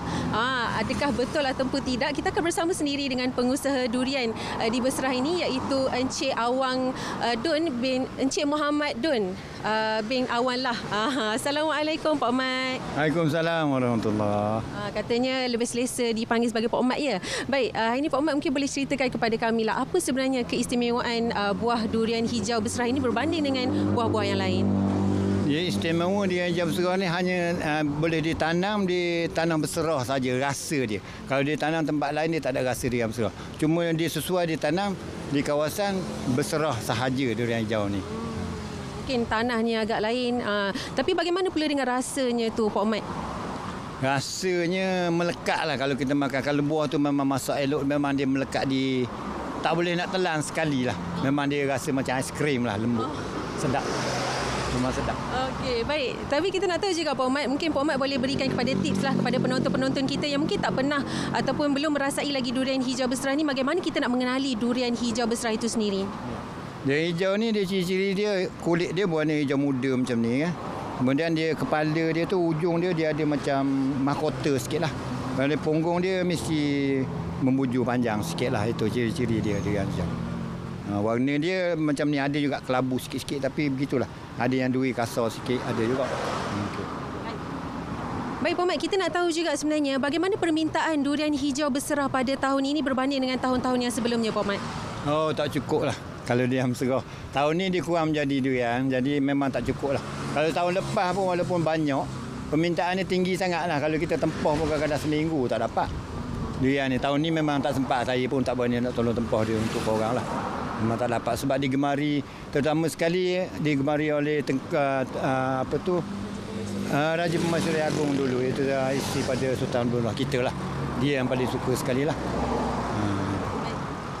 Itu dia kita bersama dengan pengusaha durian iaitu Encik Muhammad Dun bin Awan lah uh, yang berkongsikan kepada kita mengenai durian hijau berserah. Jadi apa-apa pun itu saja uh, cerita menariknya saya bawakan kepada anda dari uh, Kampung Berserah Kuantan Pahang. Kita kembali pada rakan penyampai di Angkasa Puri. Silakan. Baik, terima kasih diucapkan kepada Fatina Suha. Cerita pagi Pahang berkenaan dengan durian. Wah, jadi jangan lupa banyakkan minum air lepas makan durian tu. Okey, dan seterusnya kita nak bawakan kepada anda juga berkenaan dengan teaser Jamu Jelita. Silakan. Eh, eh, teruknya uban. Ha, Ina Lapak Jamu Cerita kan ada. Formulasi daun inai, ginseng dan minyak zaitun. Mudah je. Campur, kacau dan ratakan pada rambut. Tu dia. Nampak mudah dari usia sebenar. Hanya yang baik dari Jamu Jelita. Ha, itu dia. Jadi anda nak kelihatan lebih muda, ha, jangan risau. Kita ada solusi yang sekejap je. InsyaAllah anda akan nampak lebih muda dalam masa beberapa minit sahaja. Okey, bersama dengan saya pada pagi ini akan memperincikan dengan lebih lanjut lagi. Saya bersama dengan Cik Wardina Nadia Muhammad Azlan selaku pegawai pemasaran Jamu Jelita. Assalamualaikum, selamat pagi. Waalaikumsalam, selamat pagi Sofia. Makin yeah. cantik Sofia. Masya Allah, thank you. Awak pun apa kurangnya. Alhamdulillah. Yang paling penting hari ini kita bawa produk untuk memudakan orang di luar Betul, sana. Betul, tepat sekali. Okey, baik. Sebelum tu saya Ya, dulu. Okey, bismillahirrahmanirrahim. Assalamualaikum. Selamat pagi. Saya ucapkan kepada semua penonton-penonton selamat pagi Malaysia yang saya cukup hormati, saya cukup kasihi. Sebenarnya hari ini Sofia Mhm. saya sangat teruja sebab apa saya tak keseorangan. Ya. Saya ditemani dekat studio ni kita ada rakan sekerja saya bersama dengan tetamu istimewa kita. Aha. Ha, tapi sebelum tu kita nak cerita dulu. Apakah perkara yang paling penting? Biasa kita dengar orang cakap rambut ni adalah mahkota bagi wanita. Hmm. Tetapi kadang-kadang kita terlupa. Sebenarnya rambut ni pun adalah mahkota bagi lelaki. Ya. Sebab apa? Apa? Melalui rambut ni lah kita boleh teka personaliti lelaki tersebut. Kita boleh teka di manakah tahap masculinity seorang lelaki. Sebab itu pencegahan rambut ini sangat-sangat penting Sofia dan yang paling penting hari ini kita nak bagi tahu dekat anda yang ada masalah rambut beruban, rambutnya kering, rambutnya nampak berusia. Ah sebenarnya saya percaya rata-rata daripada penonton-penonton sama pagi Malaysia ni ramai yang mungkin uh, sama usia dengan ayah saya, ibu saya. Jadi tak kisah anda lelaki maupun wanita, bila dah semakin berusia rambut beruban ni memang akan selalu terjadi. Sebab itu hari ini kami datangkan kepada anda iaitu set inai lebat yang cukup-cukup mendapat tempat yang baik di hati pengguna. Wow. Ah, dan sekarang ini uh, buat perta- uh, pertama kalinya kita nak buat demo secara live secara langsung untuk anda lihat sendiri bagaimana set inai lebat ini boleh transformasikan. Ah dekat sini kita ada Pak Cik Azwan. Okey. Okay. Kalau sekarang kita panggil dia Pak Cik, lepas 15 minit kita boleh panggil dia abang dah. Wow. Kita boleh panggil dia abang Azwan sebab apa rambut ni kita boleh nampak sekarang ni kan Transform, eh, rambut, dia ah, rambut Masya kita ni dia agak beruban sedikit Okey. tapi saya nak tunjukkan dulu Okey. cara penggunaan untuk set inai ni okey anda akan dapat dengan dua botol satu adalah pewarna inai dan satu adalah activator susu jadi boleh campurkan sahaja kedua-dua ini Mhm. Warna apa ni? Okey, yang ini kita gunakan warna hitam. Kita Okey. datangkan dengan dua warna Aha. iaitu warna uh, coklat gelap dan juga warna hitam lah. Yang ni, Jadi eh? anda boleh pilih sahaja. Ha, campurkan dekat dalam botol ni, okey. Campurkan dekat dalam bekas ni lah. Lepas Mhm. tu tinggal uh, kacau dan juga ratakan saja dan boleh terus apply. Wah. Ah, yang ini sangat-sangat baik sebab apa? 100% daripada bahan semula jadi saja Sofia. Hmm. Tiada bahan yang terlarang dan juga bebas daripada uh, hidros hidrogen peroksida. Ah, nampak tak kita kacau. Okey, kacau secara sebati. Bagi sebati dan, dulu ya. ah, bagi sebati. Sabar, sabar dulu. Betul dan boleh terus apply. Ah, jadi kita akan minta rakan kerja saya untuk bantu applykan dekat Pak Cik Rizwan. Ah, Okey, sekejap lagi Pak Rizwan umur berapa? Okey, kalau anda teka berapa agak-agaknya? Alamak, teka, eh? Ah, okey, kalau teka Hmm. sekarang lah. Ah. 50-an? Betul, hampir Betul, 50-an. Kita tengok sekejap lagi, okey. Ya. Dia hampir 60 sebenarnya, tapi Okey. sekejap lagi dia akan berubah menjadi 30 je. 30. Sebaiknya lah kita rupanya. Ah, gitu. Okey. Dan saya nak ceritakan sedikit tentang bahan-bahan time sambil kita apply tu kan. Okey. Kita nak cerita sikit tentang bahan-bahan yang terdapat di dalam set inai lebat ni. Ya. Harga cukup-cukup murah. Kalau kita pergi salon uh, Sofia nak warnakan rambut, kalau lelaki macam ni mungkin dah RM60 RM80. Untuk yang wanita pula kalau pendek pun dah 200. Ya. Tapi yang ini harga cukup murah. Lepas tu efektif pula uh, sa- sekejap je dia berkesan dalam 10-15 minit anda pakai dan boleh terus bilai. Bilas. Antara bahan-bahan yang terkandung di dalam ini adalah kita ada daun inai. Yang mana daun inai ini memang sangat baiklah dia adalah pewarna semula jadi, tak ada uh, bahan terlarang. Lepas tu kita ada susu. Susu ni sangat baik kerana apa? Fungsi susu ni memperkuatkan akar rambut. Kita ada juga buah zaitun. Yang mana buah zaitun ini membantu untuk melembutkan rambut, membantu untuk merawat uh, dan juga mencegah kelimomo. Jadi buat yang ada masalah kulit kepala kering, masalah rambut bercabang, rambut kering, uh, rambut yang rosak boleh amalkan gunakan set inai lebat kita ni. Ah nampak tak kat sini kita ada bahan-bahan Ya. kita. Ah kita ada ginseng juga. Ginseng ini sangat baik memperkuatkan rambut dan juga ada buah noni. Ah, buah okey. noni ni akan membuatkan rambut kita lebih bersinar dan juga lebih berkilat. Ah itu untuk set inai lebat kita. Harga hanyalah serendah RM25.90 je. Wow. Ah bezanya sangat jauh ya dengan yang kita buat kat salon tadi. Yang Ya. ini lelaki perempuan boleh guna. Yang paling penting sekali mesra uduk. Ya, mesra itu uduk. penting. Ya, itu sangat-sangat penting. Dan untuk yang seterusnya, sambil-sambil kita inai tu kan, kita datangkan juga set tonik lebat. Ah, yang mana untuk tonik lebat ni buat anda yang ada masalah rambut yang gugur. Saya percaya ramai yang dah berusia ada masalah rambut gugur, rambut yang uh, ma- makin menipis. Ah, seperti yang saya bawa hari ini contoh. Ah, kita ada contoh Okey, rambut yang menipis, semakin berusia, rambut kita semakin uh, nampak. Kalau kita sisir rambut sikit, mm. uh, bila bila tarik je, noh, banyak dah Oh. segenggam dah kita dapat rambut gugur. Ya kalau yang Allah. ya, kalau yang wanita pula baru lepas bersalin, percaya tak? Tengok dekat lantai tu, ah itulah Ya. bersepah-sepah rambut kita gugur kan. Hmm. Jadi untuk mengatasi uh, masalah itu, mengatasi masalah untuk rambut gugur, anda boleh dapatkan tonik lebat yang diformulasikan dengan herbal-herbal tradisional. Aha. Cukup lengkap. Ada ginseng juga, ada argan oil dan juga ada biotin. Yang mana biotin ini hmm. membantu untuk menguatkan akar rambut dan juga membantu untuk merangsang pertumbuhan rambut baru. Ah, jadi kita tengok sekarang ni. Dekat tangan saya kita ada testimoni. Okey, anda boleh lihat sendiri rambutnya agak botak kat tengah ni. Ya. Ah, inilah masalah-masalah rambut gugur nampak? Hmm. Ah, ini masalah rambut gugur. Abang, kakak kalau ada masalah macam ni jangan biarkan. Kita kena rawat daripada awal, kita cegah daripada awal, okey? Ah, nampak tak? Ah, okey. Masalah rambut gugur dekat pusara ini biasa lelaki pun alami. Kalau yang perempuan yang berhijab kan, mungkin satu hari daripada pagi sampai malam dalam lepas tu berkepam dah kan dekat kepala tu.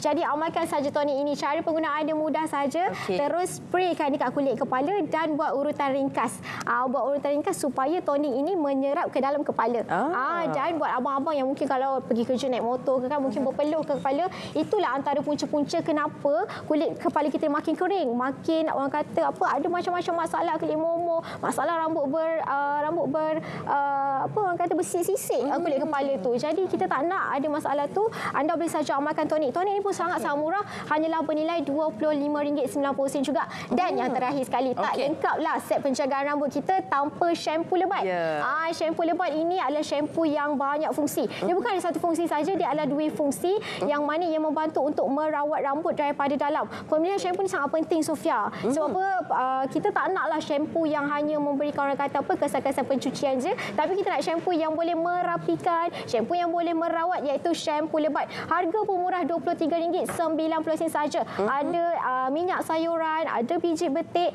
dan juga ada vitamin A, vitamin B dan juga ada aloe vera. Sebab tu ramai yang dah kongsikan siapa yang amalkan shampoo lebat ini, rambutnya jadi lebih bersinar, rambutnya jadi lebih orang kata uh, sihat dan bermain. Yang penting nampak awet muda. Wah. Ah, sebab tu lagi dia kata anda sekarang dengan ekonomi yang macam ni kan kita tak naklah gunakan bahan-bahan ataupun gunakan produk-produk yang mahal tak payah tak payah membazir. Hanya boleh amalkan uh, kita punya produk jamu cerita set penjagaan rambut yang cukup lengkap.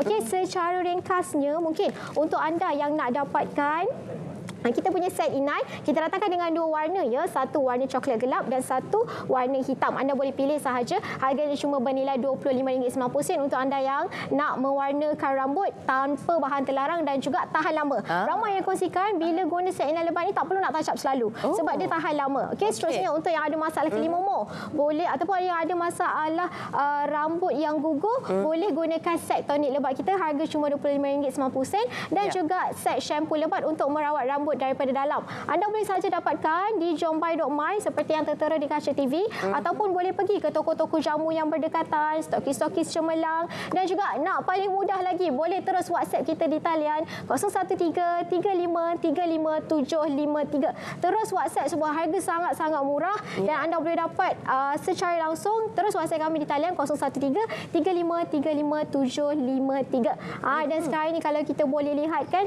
ah perubahan Ya, perubahan daripada Pak Syed Azwan tadi Ya Allah. sekarang ini macam mana kelihatannya nampak ah kita dah boleh panggil dia abang dah Ya. ah nampak Bukan orang berbeza, ya? ya orang Rambut yang sama berbeza. ah, rambut saja berbeza nampak tak perbezaannya ah Ya. okey rambutnya lebih ikal dan selepas ini lepas bilas biasanya akan jadi lebih bersinar sebab tu kita cakapkan untuk anda yang ada masalah rambut dapatkan saja set lengkap ini Ah, kita ada inai lebat kita ada juga tonik kita ada juga shampoo lebat Ya. yang dapat membantu anda untuk merawat rambut daripada uh, Okey. Akar rambut Hmm, ah itu dia. Selain daripada itu juga di platform TikTok juga kita seringkali Ya. memberikan maklumat eh, kepada para penonton juga. Betul. Mhm. Dekat uh, TikTok live uh, kita selalu buat live juga Okey. di Jamu Jelita official. Anda boleh join, boleh follow yang ada social media di Facebook pun kita ada Jamu Jelita dan juga di Instagram. Dan Ya. sebenarnya dekat TikTok ni uh, Sofia banyak juga kita bagi harga-harga diskaun, kita bagikan Wow. set bundle yang istimewa Ah. boleh dapatkan dekat beg kuning kami. Jadi secara ringkas ni untuk anda yang ada masalah rambut jangan lupa Mhm. cepat call kami sekarang,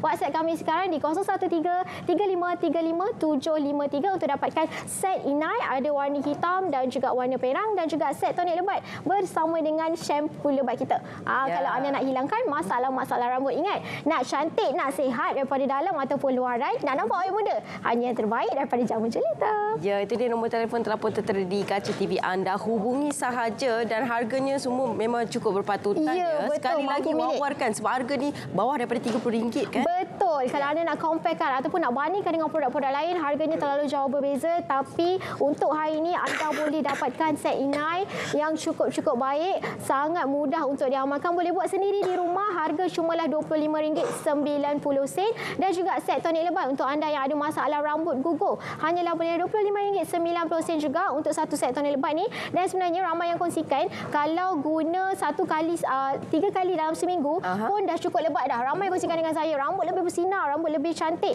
dan juga untuk anda yang dapatkan shampoo lebat yang boleh membantu anda untuk merawat serta merapikan rambut daripada dalam, anda boleh dapatkan set shampoo lebat dengan harga RM23.90 saja. Cepat Ya. kakak, abang, makcik-makcik, pakcik-pakcik, WhatsApp kami sekarang di 013-3535-753 ataupun boleh juga dapatkan kami di platform-platform seperti yang disediakan. Okey, baik. Terima kasih kita ucapkan kepada Cik Wardina Nadia. Kita berkongsi berkenaan dengan Sama-sama. penjagaan rambut yang baik untuk kelihatan lebih awet muda. Ha, seperti pakcik kita. Eh, abang kita ni. Ah, abang. Okey, baik. Dan seterusnya juga kita nak melihat uh, keadaan cuaca untuk hari ini di Met Malaysia. Tanpa buang masa, jom kita ke Met Malaysia untuk mengetahui kat luar tu panas ke sejuk. Silakan.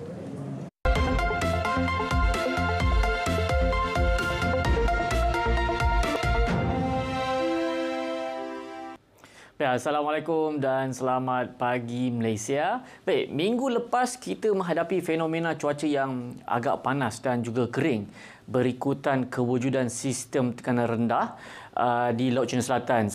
Taufan ataupun ribut tropika ataupun lekukan tropika dan sistem tekanan rendah ini ianya telah mengganggu dan mengubah corak cuaca di rantau negara kita dengan menarik sebahagian besar kelembapan dan disebabkan itu negara kita menjadi kering. Dan alhamdulillah semalam cuaca telah pun kembali normal dan banyak negeri-negeri yang menerima hujan pada semalam.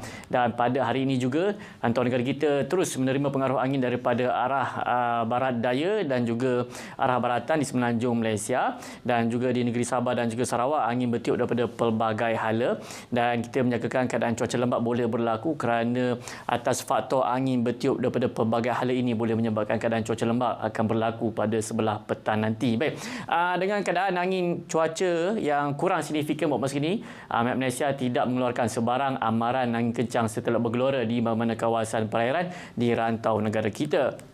Baik, bagi uh, cuaca terkini apa yang berlaku pada hari ini di Semenanjung dan juga di negeri Sabah dalam keadaan yang agak mendung, tiada hujan berlaku pada ketika ini. Tetapi di negeri Sarawak uh, cuaca lembap kini sedang berlaku sejak awal pagi tadi yang mana hujan kini sedang berlaku yang menyebabkan di bahagian tengah dan juga barat di negeri Sarawak iaitu di bahagian uh, Mukah, Bintulu, Sibu, Betung, Sarike dan juga Seri Aman. Yang kita jangkakan keadaan cuaca lembap ini akan beransur reda uh, sedikit uh, masa lagi dalam jangkaan 2 ataupun 3 jam sahaja lagi.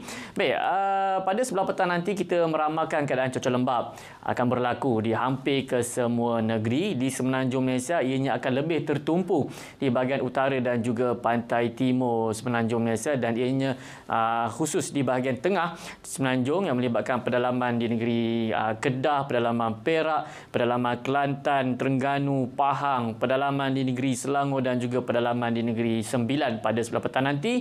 Uh, di tempat-tempat lain seperti di Melaka uh, di bahagian barat uh, Selangor di negeri Johor dan juga Pulau Pinang. Masih lagi boleh berlaku hujan tetapi kebarangkaliannya agak uh, rendah jika berbandingkan di bahagian tengah semenanjung Malaysia. Begitu juga di negeri Sarawak hujan boleh berlaku di kebanyakan bahagian dan ianya lebih tertumpu di bahagian uh, tengah dan juga di bahagian pedalaman negeri Sarawak serta di bahagian pedalaman dan juga pantai barat di negeri Sabah yang melibatkan pedalaman pantai barat di bahagian pedalaman di bahagian uh, Tawau serta di satu daerah yang melibatkan di bahagian Kudat di negeri Sabah pada sebelah petang nanti. Baik, ini saja laporan cuaca yang dapat saya kongsikan dengan anda untuk mendapatkan informasi yang lebih terkini. Anda boleh layari laman sawang kami di www.met.gov.my ataupun boleh muat turun aplikasi My Cuaca ataupun anda boleh layari Facebook, Instagram, X dan juga YouTube kita. Baik, sekian saja daripada saya Wan Hafiz.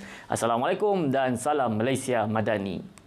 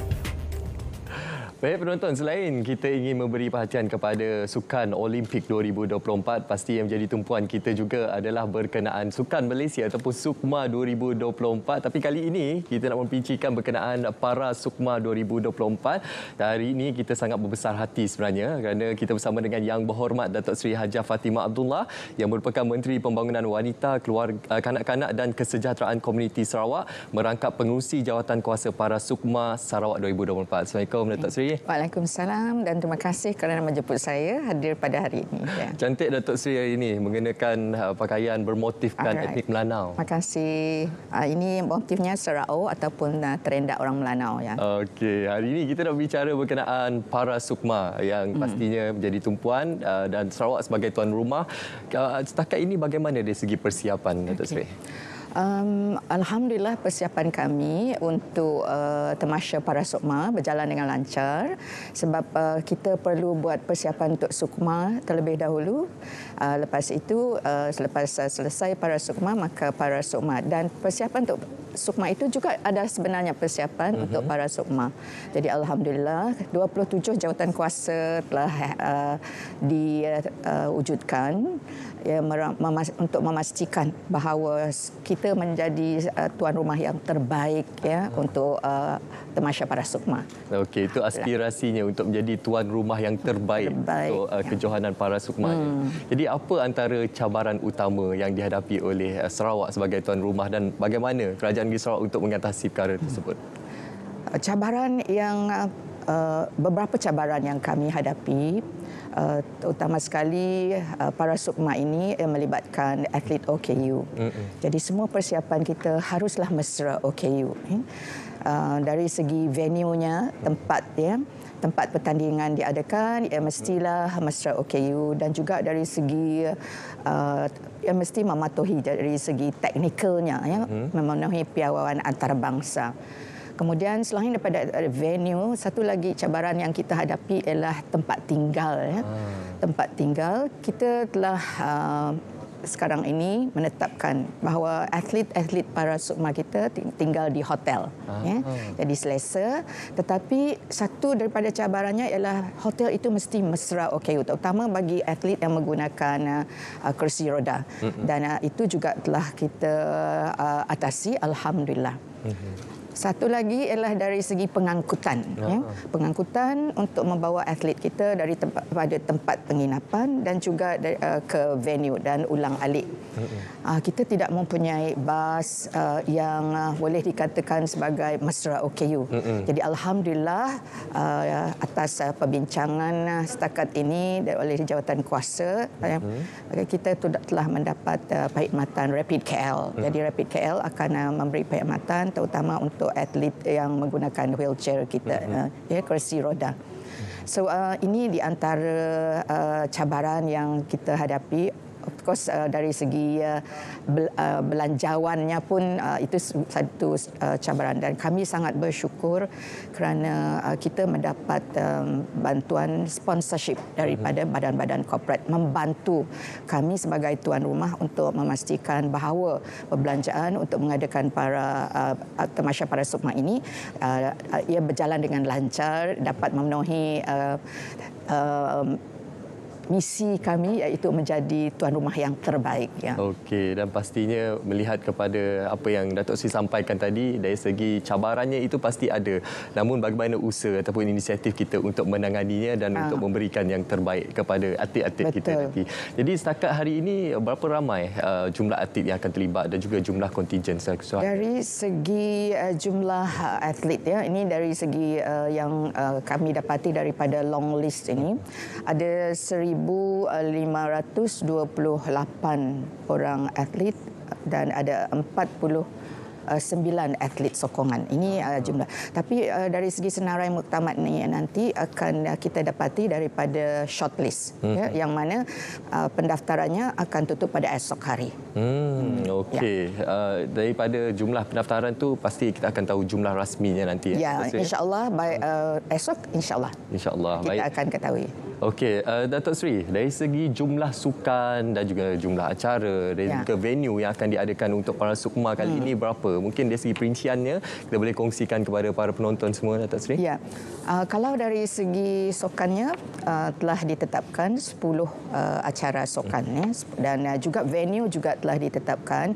Dan kita nak pastikan bahawa um, venue untuk sokan itu ada kaitan dengan tempat tinggal atlet. Jadi kita nak pastikan bahawa tempat tinggal atlet uh, yang uh, berdekatan dengan venue uh, sokan yang mereka ikuti. Ya. Uh, Setakat ini uh, 10 acara sokan iaitu para olahraga, kemudian para renang, uh, para badminton, para pingpong, uh, para ten pin bowling, boccia, para lawn ball, para catur, para powerlifting dan para memenang. Ini 10 acara sokan uh, yang uh, telah ditetapkan ya. Hmm. Dan venue juga alhamdulillah sudah uh, ditetapkan dan dari segi persiapan venue kita boleh katakan bahawa ianya by the time ya para sukma diadakan nanti insyaallah semua akan siap sedia. Oh, dari segi venue kita lihat uh, untuk ke-10 acara ini semuanya berada di Bandaraya Kuching. Betul. Uh, berbeza dengan uh, sukma, Hmm. sukma diadakan di berbagai bahagian ya. Uh, tetapi untuk para sukma kita tahu kepayahan yang dan juga uh, kepayahan yang dialami oleh atlet dari segi pergerakan ya. Kemudian dari segi logistik juga ya, kita perlu lihat ya dari segi keperluan logistik. Jadi dengan sebab itu jawatan kuasa uh, uh, telah menetapkan bahawa semuanya diadakan di bahagian Kuching Ah, okey. Apa uh, yang pa- menjadi perhatian adalah uh, matlamat utama daripada pihak Hmm. Sendiri untuk menyediakan yang terbaik kepada atlet para Betul. sukma.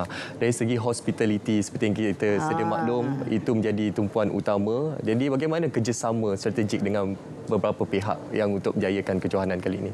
Um, kita sangat uh, uh, kita merasa sangat gembira Mhm. melihat dari segi kerjasama yang telah ditunjukkan oleh uh, jawatan kuasa uh, para sukma ini yang mana terdiri daripada uh, men- kementerian-kementerian jabatan-jabatan ya kerajaan, jabatan swasta dan juga government link uh, companies dan juga pihak swasta sendiri.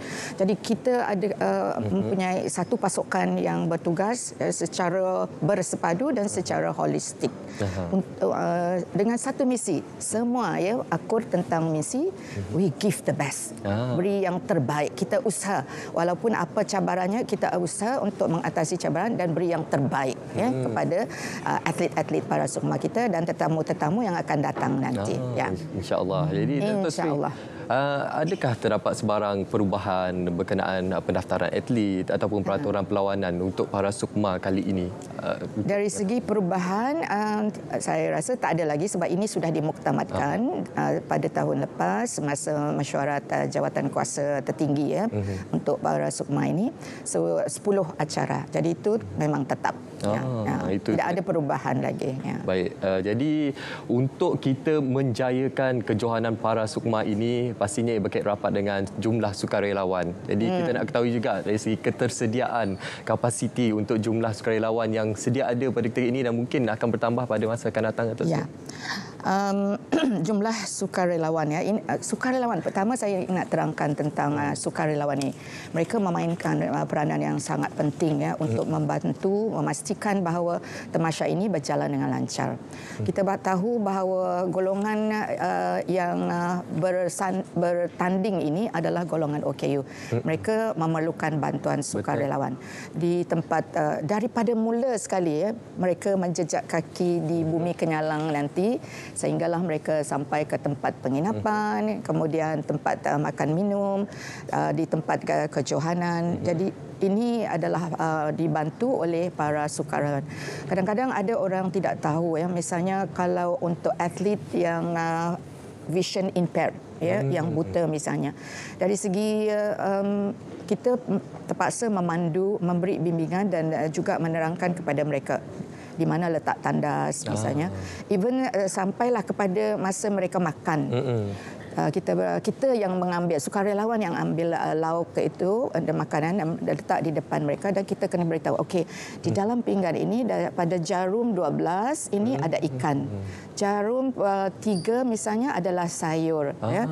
Uh, dan dan seterusnya sebab mereka tidak melihat kitalah yang menjadi mata kepada mereka dan memberitahu kepada mereka apa yang ada di dalam pinggan dia.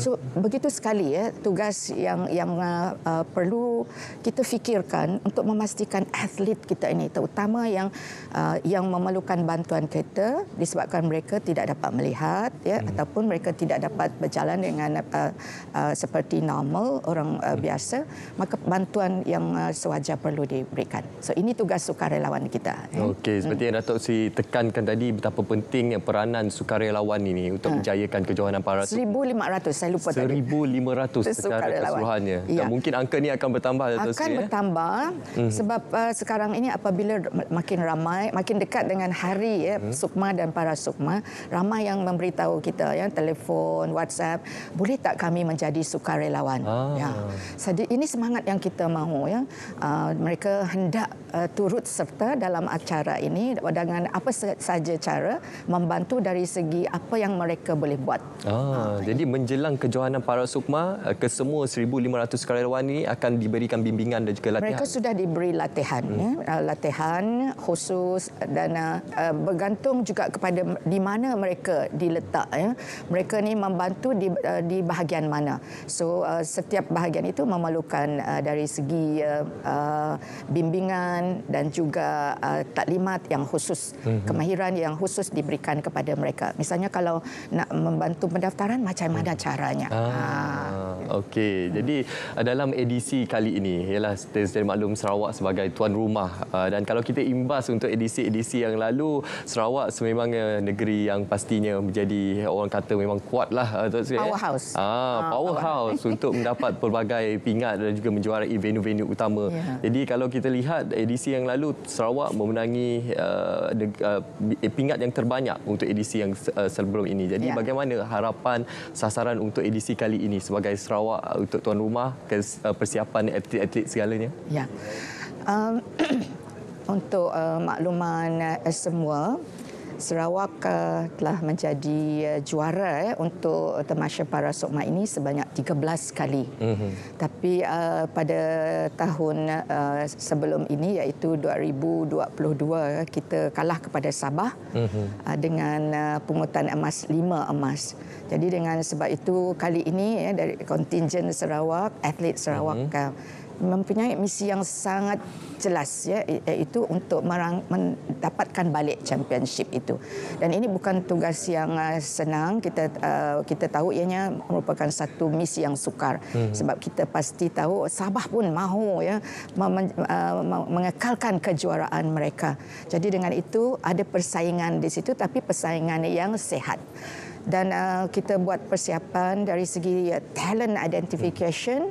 Se- uh, kita perlu atlet uh, yang baru sebab atlet-atlet kita ada misalnya sekarang ini ada lima atlet Sarawak ya yang uh, menyertai uh, Paris Olympic. Ah. lima. Maknanya mereka ini bila sudah mencapai tahap para Olimpik mereka tidak dapat uh, bertanding untuk para sukma Ah. maknanya kami sudah kehilangan emas di situ ya.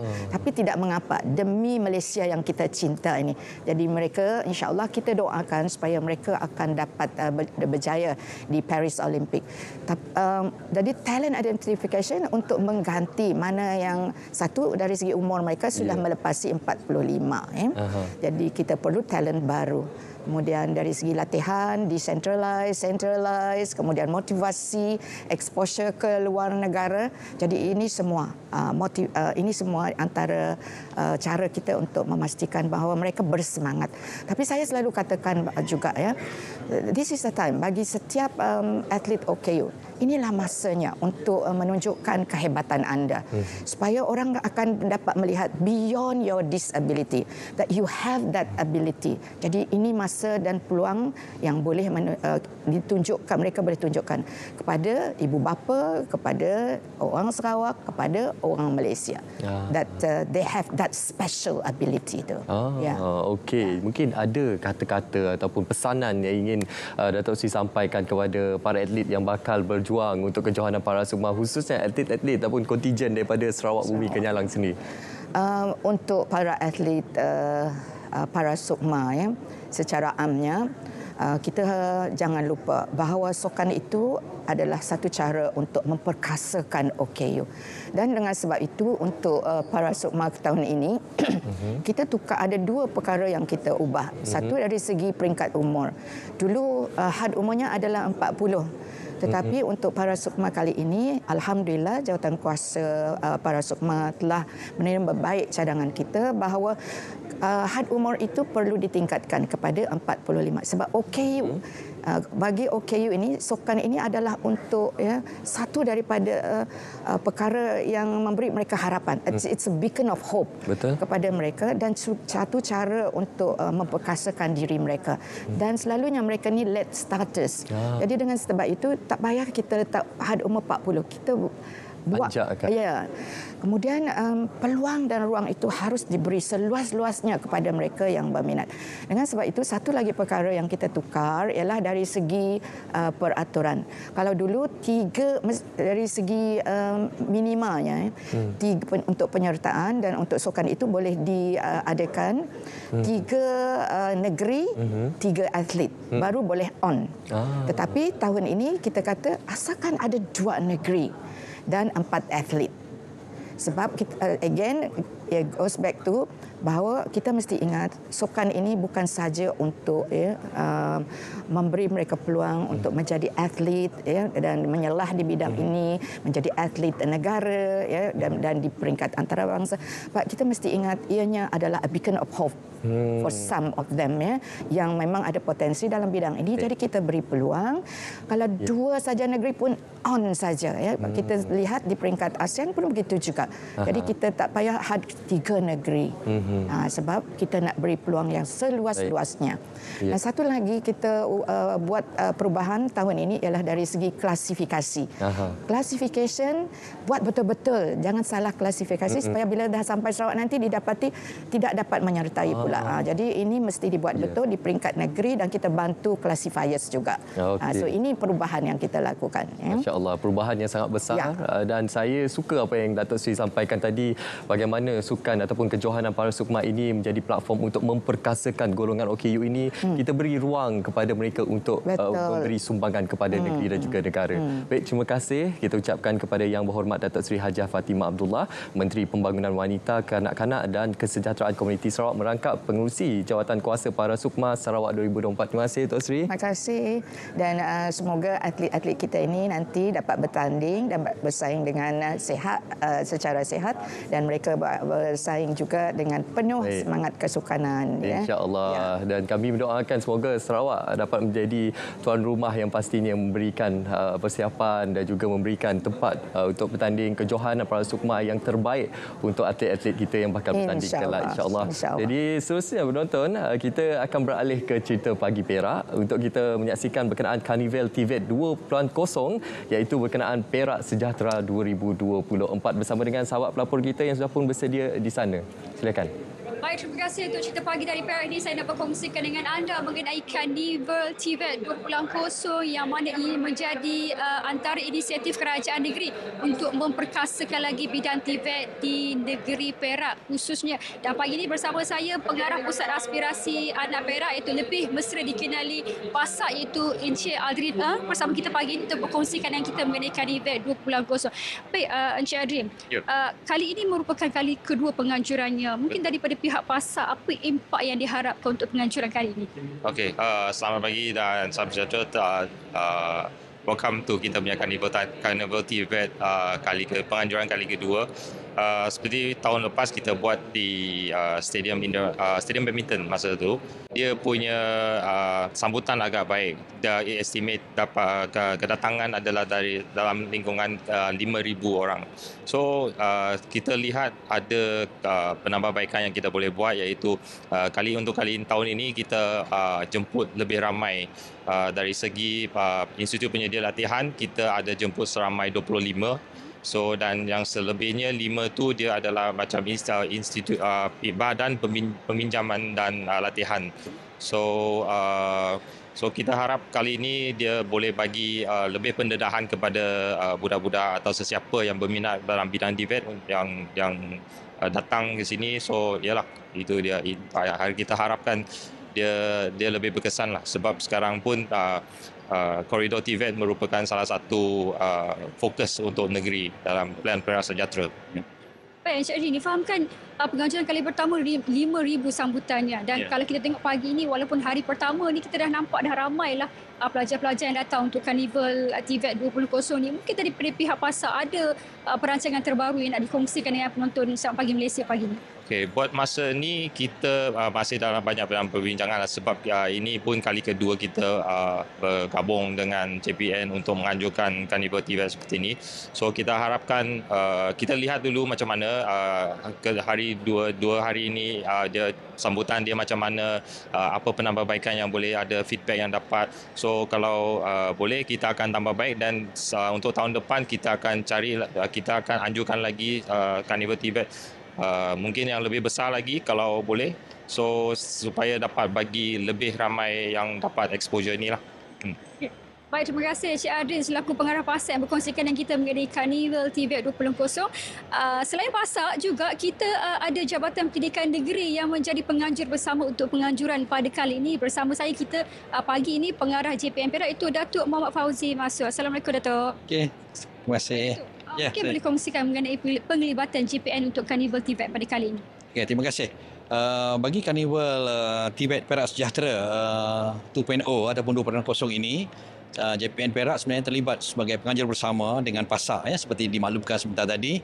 Dan uh, sudah pastilah kita juga terlibat dengan uh, kerja-kerja awal seperti perancangan, ya, uh, pengurusan bagi memastikan Carnival uh, Tibet Perak Sejahtera 2.0 ini dapat berjalan dengan lancar lah.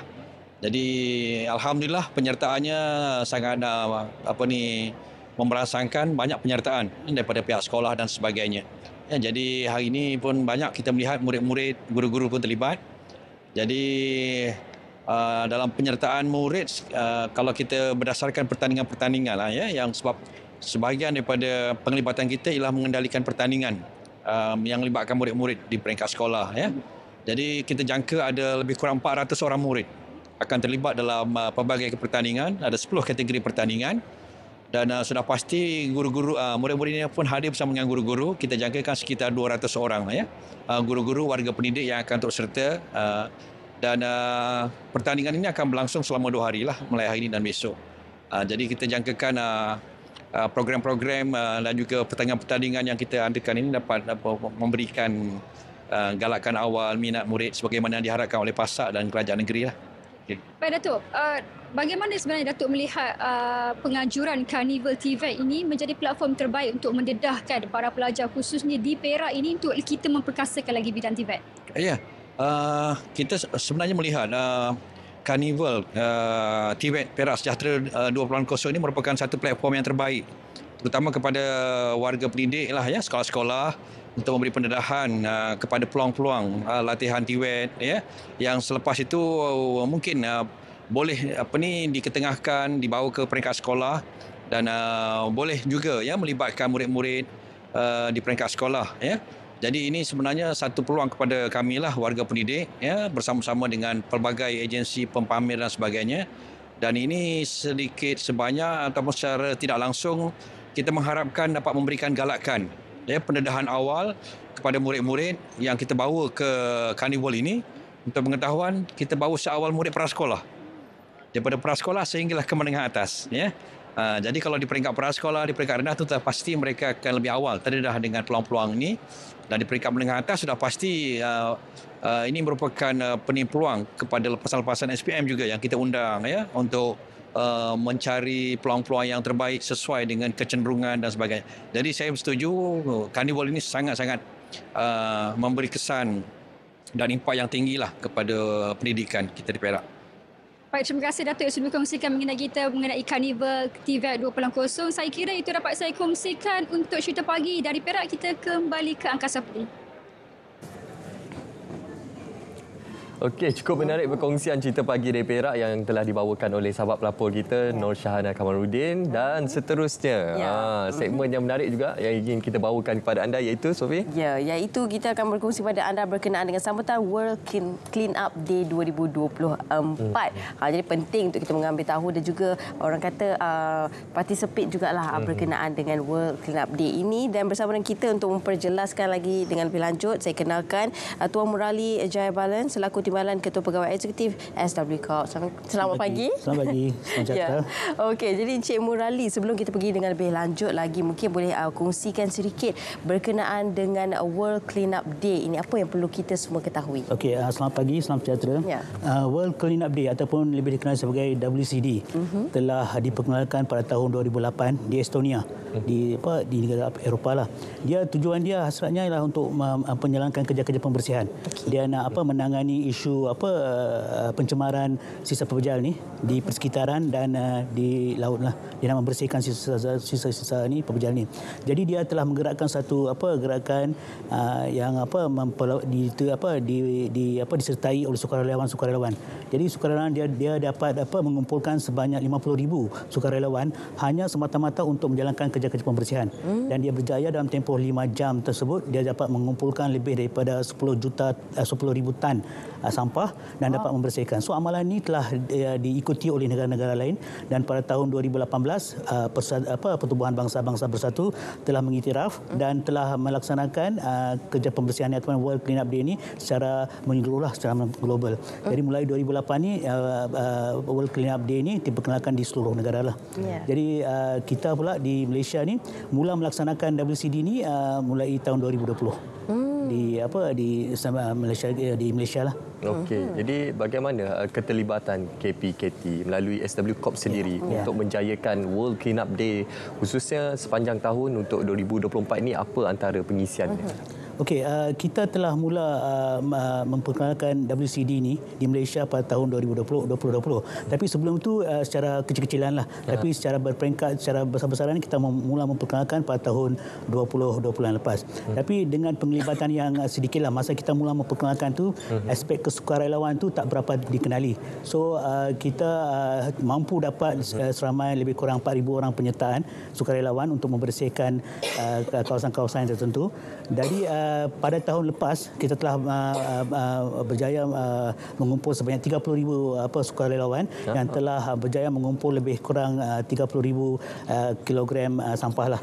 So itu, itu satu peningkatan yang uh, boleh dibanggakan lah. Daripada 4,000 pada tahun 2020 kita telah mencapai kepada lebih kurang 30,000 pe- sukarelawan pada tahun uh, 2000 yang lepas. Jadi sasaran kita untuk tahun ini 2024 pula kita mensasarkan lebih kurang 40,000 sukarelawan lah. Wow. So hasrat kita ni untuk WCD ni adalah cuma apa untuk uh, apa tujuan kita adalah untuk melaksanakan kerja-kerja pembersihan satu. Keduanya untuk melakukan audit sisa. Yang penting ni audit sisa.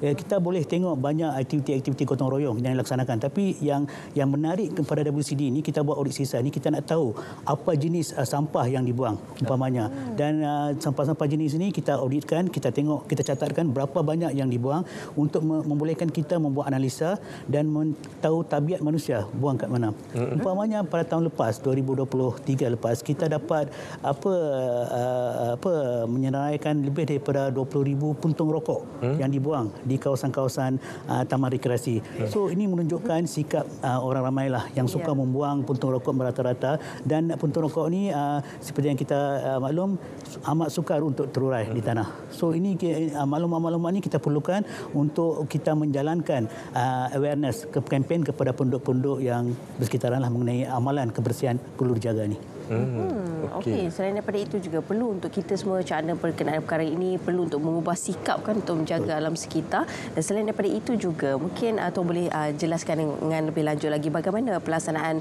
World Clean Up Day pada tahun 2024 ini difahamkan juga akan dipanjangkan sedikit tariknya. Yes. Yes. Ya. Uh, uh, mulai tahun ini uh, Pertubuhan Bangsa-Bangsa Bersatu telah uh, menetapkan 20 September uh-huh. sebagai World Clean Up Day ini di uh, seluruh negara lah. Jadi untuk kita pula di peringkat uh, nasional ni kita telah uh, memanjangkan tempoh tersebut iaitu daripada 21 hingga 29 Ya. September ni bagi membolehkan uh, lebih banyak penyertaan uh, untuk me- me- menyertai WCD ini. Kalau kita letak satu tarikh saja, kita dapati ada komitmen-komitmen tertentu daripada uh, pelbagai pihak yang mungkin menyukarkan mereka untuk apa terlibat dalam WCD ini. Jadi kita panjangkan tempoh tersebut daripada 21 hingga 29 September bagi membolehkan lebih banyak uh, penyertaan untuk uh, menyertai program ini di samping uh, meningkatkan penyertaan sukarelawan dalam uh, WCD ini lah. Okey, saya tertarik sebenarnya dengan nama sukarelawan ini iaitu sukarelawan hero kebersihan. Oh, Wow. maksudnya semua sukarelawan yang terlibat ini adalah hero-hero negara kita lah untuk membantu menjaga kebersihan alam sekitar khususnya di bawah pihak SW Corp sendiri.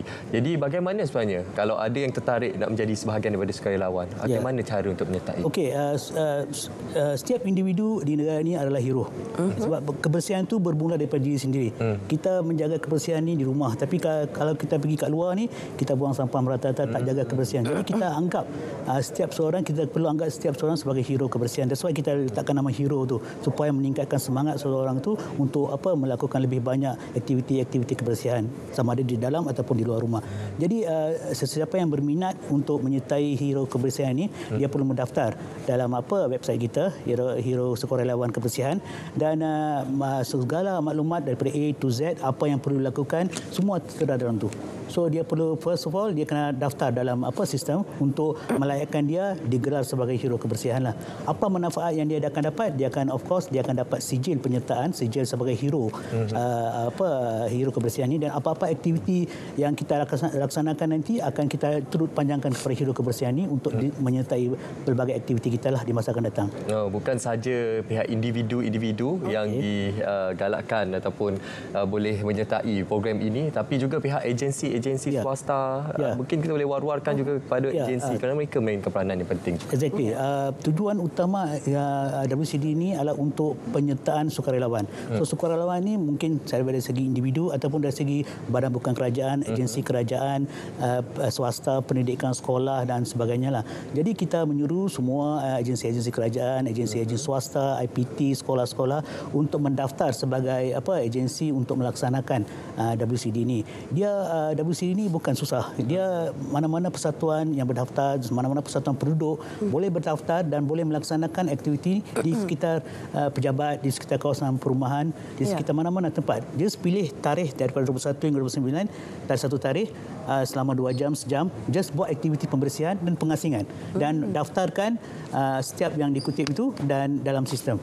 That's all. Dan kita akan uh, mengumumkan uh, apa yang menarik ini uh, setiap penyertaan ini akan dipertandingkan lah. Kalau agensi itu berjaya mengutip uh, sampah ataupun sisa yang banyak, dia akan uh, diberi hadiah dalam uh, apa, pe- apa dalam majlis uh, yang akan diadakan pada bulan 11 nantilah. Wow, cukup menarik. Uh, bukan saja kita dapat Ya. bersama-sama untuk membersihkan persitaran kita, Aha. tapi juga ada hadiah menarik menanti anda Ya. semua yang mendaftar khususnya pihak individu maupun pihak agensi uh, swasta dan juga badan bukan kerajaan. Mhm. Okey, bercakap berkenaan tarikh yang sangat penting iaitu 21 September. Satu perkara yang penting yang akan berlaku ataupun berlangsung di negeri Perlis. Ya. Kita boleh war-warkan. Okey, uh, uh, kemuncak apa aktiviti WCD ini seperti saya mentionkan sebelum tadi uh, apa persatu apa pertubuhan bangsa-bangsa bersatu menetapkan 20 hari bulan September sebagai tarikh untuk apa pelaksanaan WCD ini. Bagi pihak uh, kita di SW Corp di peringkat kebangsaan pula kita akan uh, mengadakan uh, World Clean Up Day di peringkat uh, kebangsaan di Kangar Perlis pada 21 hari bulan ini. Di mana um, se- apa serentak dengan itu juga kita juga akan adakan serentak di sebuah uh, tujuh buah negeri di bawah akta inilah di, bermula daripada Perlis, Kedah, uh, apa Melaka, Negeri Sembilan Hmm. dan sebagainya. Dia akan terlibat dalam aktiviti ini. So kita sasarkan uh, uh, lebih daripada 30,000 penyertaan. Di samping negara-negara negeri-negeri di bawah akta ni enam tujuh buah negeri ni, negeri-negeri lain seperti Kelantan, Terengganu, uh, Pulau Pinang, Selangor juga boleh menyertai aktiviti ini. Dan uh, agensi-agensi kerajaan ataupun uh, uh, PBT ataupun uh, swasta boleh melaksanakan aktiviti-aktiviti WCD ini di negeri-negeri berkenaan. Di pihak SW Corp pula kita sedia membantu negeri-negeri berkenaan. Dari dari segi hikmat nasihat yang kita boleh berikan pandangan kita macam mana nak laksanakan itu kita bersedia membantu. Baik, Mhm. itu aspirasi yang sangat besar untuk Ya. kita semua. Jadi kepada anda semua yang berminat untuk menjadi sukarelawan, anda boleh terus saja mendaftar di www.swcorp.gov.my. Mhm. 1.6 juta sukarelawan diperlukan untuk Ya. kita bersama-sama memastikan persekitaran yang bersih untuk kita diami. Aha, baik dan terima kasih kami ucapkan kepada Tuan Murali Jayabalan selaku Timbalan Ketua Pegawai Eksekutif SW Corp. Terima kasih banyak Tuan. Terima kasih. Terima kasih. Ya. Terima kasih. Sekarang ni kita akan terus saja uh, membawa penonton untuk menyaksikan kapsul inspirasi juara Ya. iaitu berkenaan seorang tokoh sukan kita ini iaitu Loh Jack Chang. Silakan. Jom.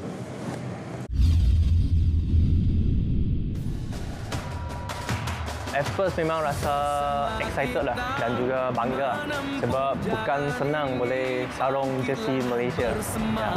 Tapi lepas macam berapa tahun untuk berjuang dalam uh, national team, memang lepas tu rasa tanggungjawab yang lagi berat sikit sebab masa you jadi atlet senior kan, uh, you kena cabar sendiri untuk dapat result yang lebih lagi baik dan lepas tu badan you sudah ada banyak injury ha, jadi you kena memang control baik-baik dalam setiap uh, pergerakan dalam competition. First competition tu kan saya sudah dapat satu perak dan satu tangka itu adalah kenangan yang pal- paling manis bagi saya. Dan second one adalah uh, dapat uh, pingat emas dalam SEA Games 2017 di Kuala Lumpur. Uh, bagi saya juara bukan sahaja untuk uh, memenangi medal dalam competition atau uh, mendapat gold medal menjadi juara. Tapi bagi saya kebanyakan tu kepada disiplin sendiri. Kalau you tak ada disiplin you takkan jadi juara yang uh, di masa yang panjang. You akan kena uh, hari-hari disiplin diri dalam training dalam kehidupan seharian dalam how you treat your friends atau coach atau your competition itulah paling penting untuk seorang juara. Kita kena belajar uh, setiap hari. Bukan saja kata you sudah jadi juara you sudah nanti belajar dari orang yang lagi uh, lagi mantap ke ya, atau yang lagi uh, lower level ke bukan macam tu. Sebab hari-hari kalau you belajar dari orang yang lagi level lagi lagi lower kan you boleh belajar ke eh apa benda yang tak baik you boleh avoid. Hmm, mental atlet kena jadi lagi kuat bagi era sekarang. Sebab mereka kena uh, kena filter mana yang baik mana yang buruk. Mana yang boleh mereka macam absorb jadi sebagai satu motivation atau apa yang mereka kena macam buangkan fokus pada competition. Fokus kerja keras pengorbanan demi Malaysia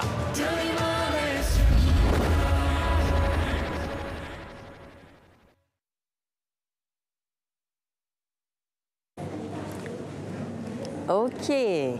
Okey, baik para penonton seterusnya kami bawakan kepada anda kita ada kerusi uh, gaming di belakang saya. Oh, saya tak pernah duduk kerusi gaming ni dan semestinya bersama dengan saya pada pagi ini Double N. Assalamualaikum. Waalaikumsalam Ella. Eh bukan Ella Bukan. lah Raji Sufia sebab Sampai suara nanti dia lah. serak kan dia macam oh rock rock. Oh, wow. Ah, kan Sofi rasa.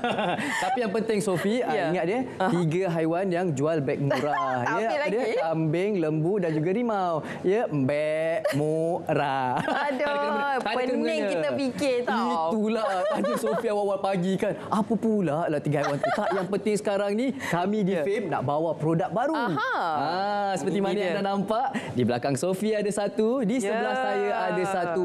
Inilah dia kerusi gaming. Kerusi gaming yang diberi nama Seranji. Wah. Ah, sebab Okey. itu my best friend, my boss punya. Ah, nama dia Seranji. Jadi kita bagi kerusi gaming yang berkualiti buat anda semua hari ini.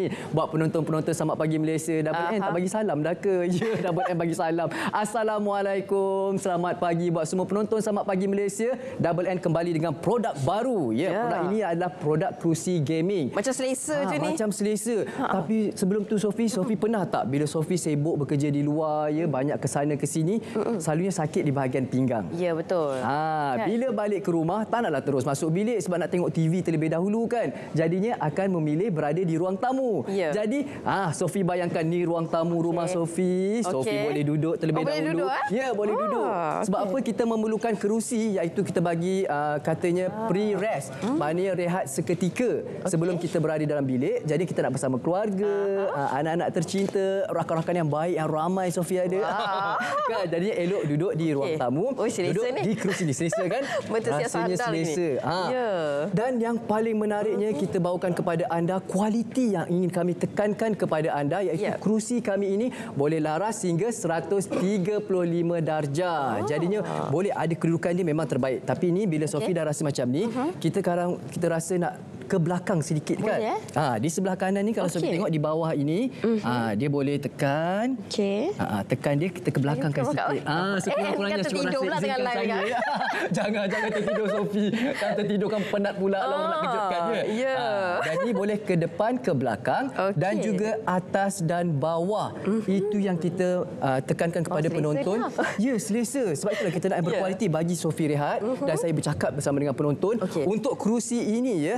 Ah, macam Sofi lihat dia suka dengan desain yang di sana. Ya. Warna tetapi Sofi suka warna Kita apa? nak warna hitam boleh tak? Nak warna hitam sudah semestinya boleh ya. Anda suka desain di sana Okey, tetapi tunjuk warna sikitlah yang bangun, eh. Ah kan. Okey. Sofi suka desain yang macam ni. Okey. Ah Hmm. dia simple tapi klasik tapi nak lagi elegan Sofi kata nak warna hitam seperti ini. Ya. Boleh jangan risau kami boleh buat. Yang penting anda terus WhatsApp ataupun hubungi talian kami 0194319777 019 431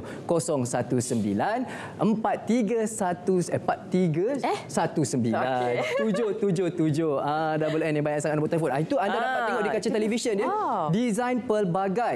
Anda boleh request macam-macam yang anda boleh tengok gambar-gambar yang akan kami hantar ke nombor telefon anda. Anda WhatsApp saja ataupun hubungi saya nak gambar kerusi gaming tu boleh tak? Ya, sudah semestinya akan kami hantarkan kepada anda. Dan juga kita pergi ke promosi. Tapi sebelum tu Okey. kita nak tunjuk lagi. Ah, Ala-ala kamera dah kat bawah tu. Oh stop. Okey. Stop kamera Oh, kat berhenti, situ. berhenti, ya, berhenti. ah, kat situlah saya nak tunjuk ya. Anda boleh laraskan. Ya. Sebab itulah dia Oh, kata wow. pre-rest. Bila Itu Sofi dia. penat, ah Sofi boleh letak kaki pun kita nak rehat juga sebab dah berdiri lama double Ah. N.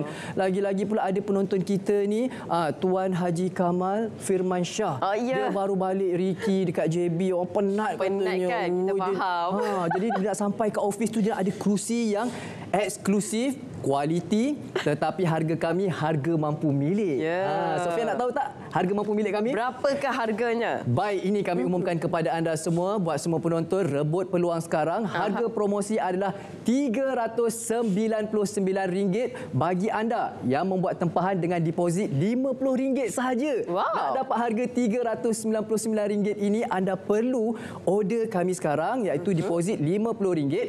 Anda akan dapat kerusi ini iaitu dengan harga RM399. Ada desain yang lain yang kami kongsikan di kaca televisyen berharga RM499. Yang tu tak perlu apa-apa deposit Sofi. Okey. Ah, tak perlu apa-apa deposit, tunggu barang sampai baru bayar. Wow. Tetapi perlu diingatkan nanti ada yang marah. Double N, saya dah order 10 tahun yang lepas. Eh janganlah 10 tahun yang lepas lama sangat dikatakan. Dia, dia dah order tapi dia tak sabar nak sampai barang tu. Ya. Kami bagi tahu awal-awal permintaan tinggi ketika ini. Jadi harap bersabar. Ya. Ya, kalau anda nak tahu dari semasa ke semasa anda boleh hubungi kami WhatsApp tanya bila uh, kerusi saya sampai. Jangan risau tapi kami akan dahulukan siapa yang booking dululah kan Sofi. Ya, Kita betul, kena betul. utamakan. Kita nak bagi yang terbaik buat anda. Kita bukan terus-terus siap bagi yang dah siap. Tidak. Kami akan buat desain ikut cita rasa anda. Tengok ada cantik-cantik ada berkenan tak Sofi Wah, bila tengok tadi kan? Ah, Cantik-cantik warna hitam Cantik, putih, hitam cantik. hijau, Iya, macam-macam colour dia. Macam-macam Ah. colour kan. Tapi Jadi, semua semua hmm. ada untuk bahagian kaki ni ke? Betul. Okey. Ada semuanya ada. Okey. Uh, untuk rehatkan kaki ni kita tarik. Ha, dan untuk penggunaan dia mudah ya bagi anda. Saya ketepikan sebab apa saya nak tunjuk. Okey, pelarasan dia ya. Untuk Eh, eh, laraskan- baik-baik, jangan- jangan pergi sampai ke sana. Kan, ah, jangan sampai ke sana. Sampai ke sana Sofi kejar. Sofi kejar tarik balik ya. Okey, Okey. kalau anda dapat dilihat di tepi ini kanan ni, ini untuk adjustable dia. Kita nak ke depan, nak ke Okey. belakang dan kita lockkan dia. Ha. Hmm. Okey, lockkan dia macam tu. Dia ramai yang tanya, double N boleh ke mana lagi ke belakang tu kan? Ya, ya, saya tunjuk kepada anda ya. Ah, kita Sejauh belakangkan mana, betul. Ah, Okey, jangan ini tidur, belakang dia. Jangan tidur. Okey, Sofi Nanti siapa nak cakapkan ya. cakap? jangan. Jangan ya. Okey. Itu untuk pelarasan dia depan Okey. belakang. Kalau untuk atas dan bawah pula, jangan risau kita ada. Ya. Ah, ini untuk turun.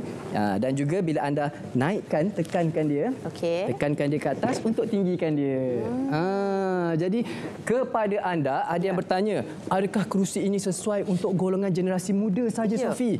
Tidak sama sekali ya. Semua boleh menggunakan kerusi kami ini. Ya. Semua peringkat usia bagi ibu mengandung, bagi warga emas, kita nak bagi hadiah buat ibu bapa kita di kampung yang penat ya bila kita bawa mereka berjalan jauh balik rumah nak relax terlebih dahulu di depan kaca televisyen, anda belikan kerusi ini dan juga ketahanan jaminan kita bagi. Ada jaminan juga Ada ya? jaminan wow. ya. Lima tahun jaminan. Kalau anda tengok di platform media sosial yang lain, memang ada yang murah Sofi, 100 lebih. Tetapi adakah ada jaminan? Dari segi keselamatan diberi ataupun tidak? Tak dijamin keselamatan. Dan juga dari segi keselesaan pun kadang-kadang memanglah dalam seminggu je rasanya selesa. Tapi lepas tu dah tak selesa dah. Berlekuk-lekuk Ya, berlekuk-lekuk pula. Ini kami beri jaminan kepada anda selama lima tahun. Jadi hubungi sekarang untuk dapatkan promosi. Promosi ini hanya bertahan untuk hari ini saja ya. Dan memang ramai yang sekarang ini tengah order. Jadi kepada anda semua cepat-cepat hubungi talian kami 0194319777 0194319777. Hmm, itu dia nombor telefon telah pun tertera di kaca TV anda. Ya. Apa tunggu lagi? Boleh terus dapatkan sebab promosi ni ditawarkan special untuk anda semua kan? Tepat Ah, ada sekali. macam-macam warna-warna. Kalau nak request warna lain boleh juga. Boleh. Dia ada okay. pelbagai desain dan pelbagai warna ikut kemahuan anda. Sebab Ah. itulah apa-apa soalan Sofi, boleh hubungi terus ke nombor telefon kami ya. Ya. Jangan malu, jangan segan nak WhatsApp boleh, nak hubungi pun boleh tapi perlu diingat bila anda dah buat tempahan, anda diminta kepada anda semua untuk bersabar sebab kami akan dahulukan pada mereka yang cepat. Ah. jadi kalau anda nak cepat kursi anda sampai, anda jadilah orang yang pertama, jangan jadi pula orang yang ke-11 lepas tu minta hari esok juga nak dihantar. Eh, eh, sabar. Tak bolehlah macam tu sabar. Yang penting penghantaran percuma ya. Ya. Berbeza, sangat berbeza dengan kursi-kursi yang anda lihat di uh, secara online, secara dalam talian. Mereka semua memang bagi harga murah tapi adakah dari segi kualiti dan keselamatan diberikan?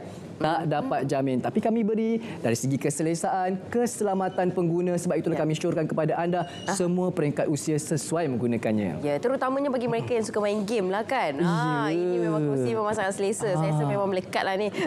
Memang melekat ya, lah. Cakap, memang duduk melekat ni Daripada selesa pagi ni. sampai ke pagi esok lah pula dia kat kursi je. Dia boleh baring kan? Tidur pun kat sini boleh baring juga. tidur kat sini juga sebab nak rehatkan belakang badan Ya. ya. Ha, belakang badan sekarang sakit bila berjalan jauh sesuai untuk berehat di kerusi ini. Ha, nombor telefon telah pun tertera di kaca TV anda. Sekali lagi Double N boleh promosi ni nak diwawarkan tu hari ni. Baik kepada semua penonton Selamat Pagi Malaysia Jangan lepaskan peluang untuk dapatkan kerusi gaming Suranji ini Yang kami bagikan promosi harganya terbaik pada hari ini Hanya RM399 sahaja Tetapi anda perlu buat bayaran RM50 sebagai deposit Untuk harga kerusi yang lain pula Ada variasi yang lain RM499 Tak perlu apa-apa deposit Yang penting anda WhatsApp dan juga call kami Untuk dapatkan harga promosi ini Bertahan hanya satu hari sahaja Ya. Esok kami tak janji akan berubah harganya. Ah, tak pasti jangan kongsi. Jangan kongsi. Eh dah. Tak Okey. pasti jangan kongsi. Eh nak, nak ulang sikit ah, nombor Okey. telefonnya. Mhm. 0194319777. 0194319777. Rebut peluang sekarang. Okey Haji Kamal? Oh sempat. Okey, sempat. Itu dia penghantaran juga secara percuma. Hmm. Percuma. Promosi yang diberikan ataupun ditawarkan kepada anda untuk hari ini saja. Jadi cepat-cepat hubungi nombor telefon yang telah pun tertera di kaca TV anda. Saya nak panggil Munawar ni, nak suruh dia rasa juga kursi ni. Ya, Ah, Munawar juga nak rasa. Oh, Okey. saya pun nak rasa juga ni. Silakan. Ah, saya nak duduk Encik. boleh. Encik, Baik-baik tak apa, jangan Encik. ke belakang. Tolong RM100 Wah, dulu lah. terbaik lah. Ah, Memang okey, sangat selesa lah. Selesa. Betul-betul nak habis Awak pun siaran tadi. selesa. Okey. Tugas Jadi double kita, L. ya. Ini ini ini antara kerusi keistimewanya lah eh. Ya, Selesa. betul. Dan kami pun dapat juga merasai keselesaan untuk hari ini. Betul, ya. rasa selesa nak buat penutup ni kan. Ah, kita ucapkan terima kasih dulu terlebih dahulu ah di sana. Ya. Okey, terima kasih Double N. untuk terima kasih juga Raja. Sofia dan juga Munawar. Aha. Okey, nampaknya kita dah sampai ke penghujung siaran Selamat Pagi Malaysia bagi edisi hari Selasa pada hari ini 30 Julai 2024 dan kita harapkan segala perkongsian kita pada pagi ini memberikan manfaat yang besar kepada anda semua. InsyaAllah. Jadi jangan lupa apa yang kami uh, kongsikan kepada anda. Moga dapat memberi manfaat. Selain daripada itu, yang baik itu daripada Allah. Yang buruk itu daripada kami sendiri. InsyaAllah kita akan jumpa lagi esok bersama dengan rakan-rakan host yang lain. Dan insyaAllah esok juga kita akan bersiaran secara langsung daripada dataran uh, pahlawan negara Putrajaya. InsyaAllah saya dan juga Ismail akan menemani anda. InsyaAllah. Ya, pastikan anda menonton kami pada esok hari uh, di saluran berita RTM dan juga saluran TV1. Uh, saya dan juga Raja Sufia mewakili tim penerbitan uh, dan juga kita bersama dengan Nadir. Jangan lupakan. Jangan dilupakan kita mengucapkan terima kasih kepada anda yang sentiasa memberikan sokongan kepada kami dan Aha. sekarang ini uh, sebagai penutup Selamat Pagi Malaysia ialah uh, lagu yang akan dibawakan adalah berkenaan dengan uh, tragedi ataupun satu insiden yang sangat menyayat hati iaitu bekas uh, pegawai kadet UPNM yang telah pun meninggal dunia disebabkan oleh kes buli uh, pada tujuh tahun yang lalu. Jadi tajuk lagu ini Seindah Sabar. Ya, jadi insyaAllah sampai di sini saja. Kita jumpa lagi. Assalamualaikum warahmatullahi wabarakatuh.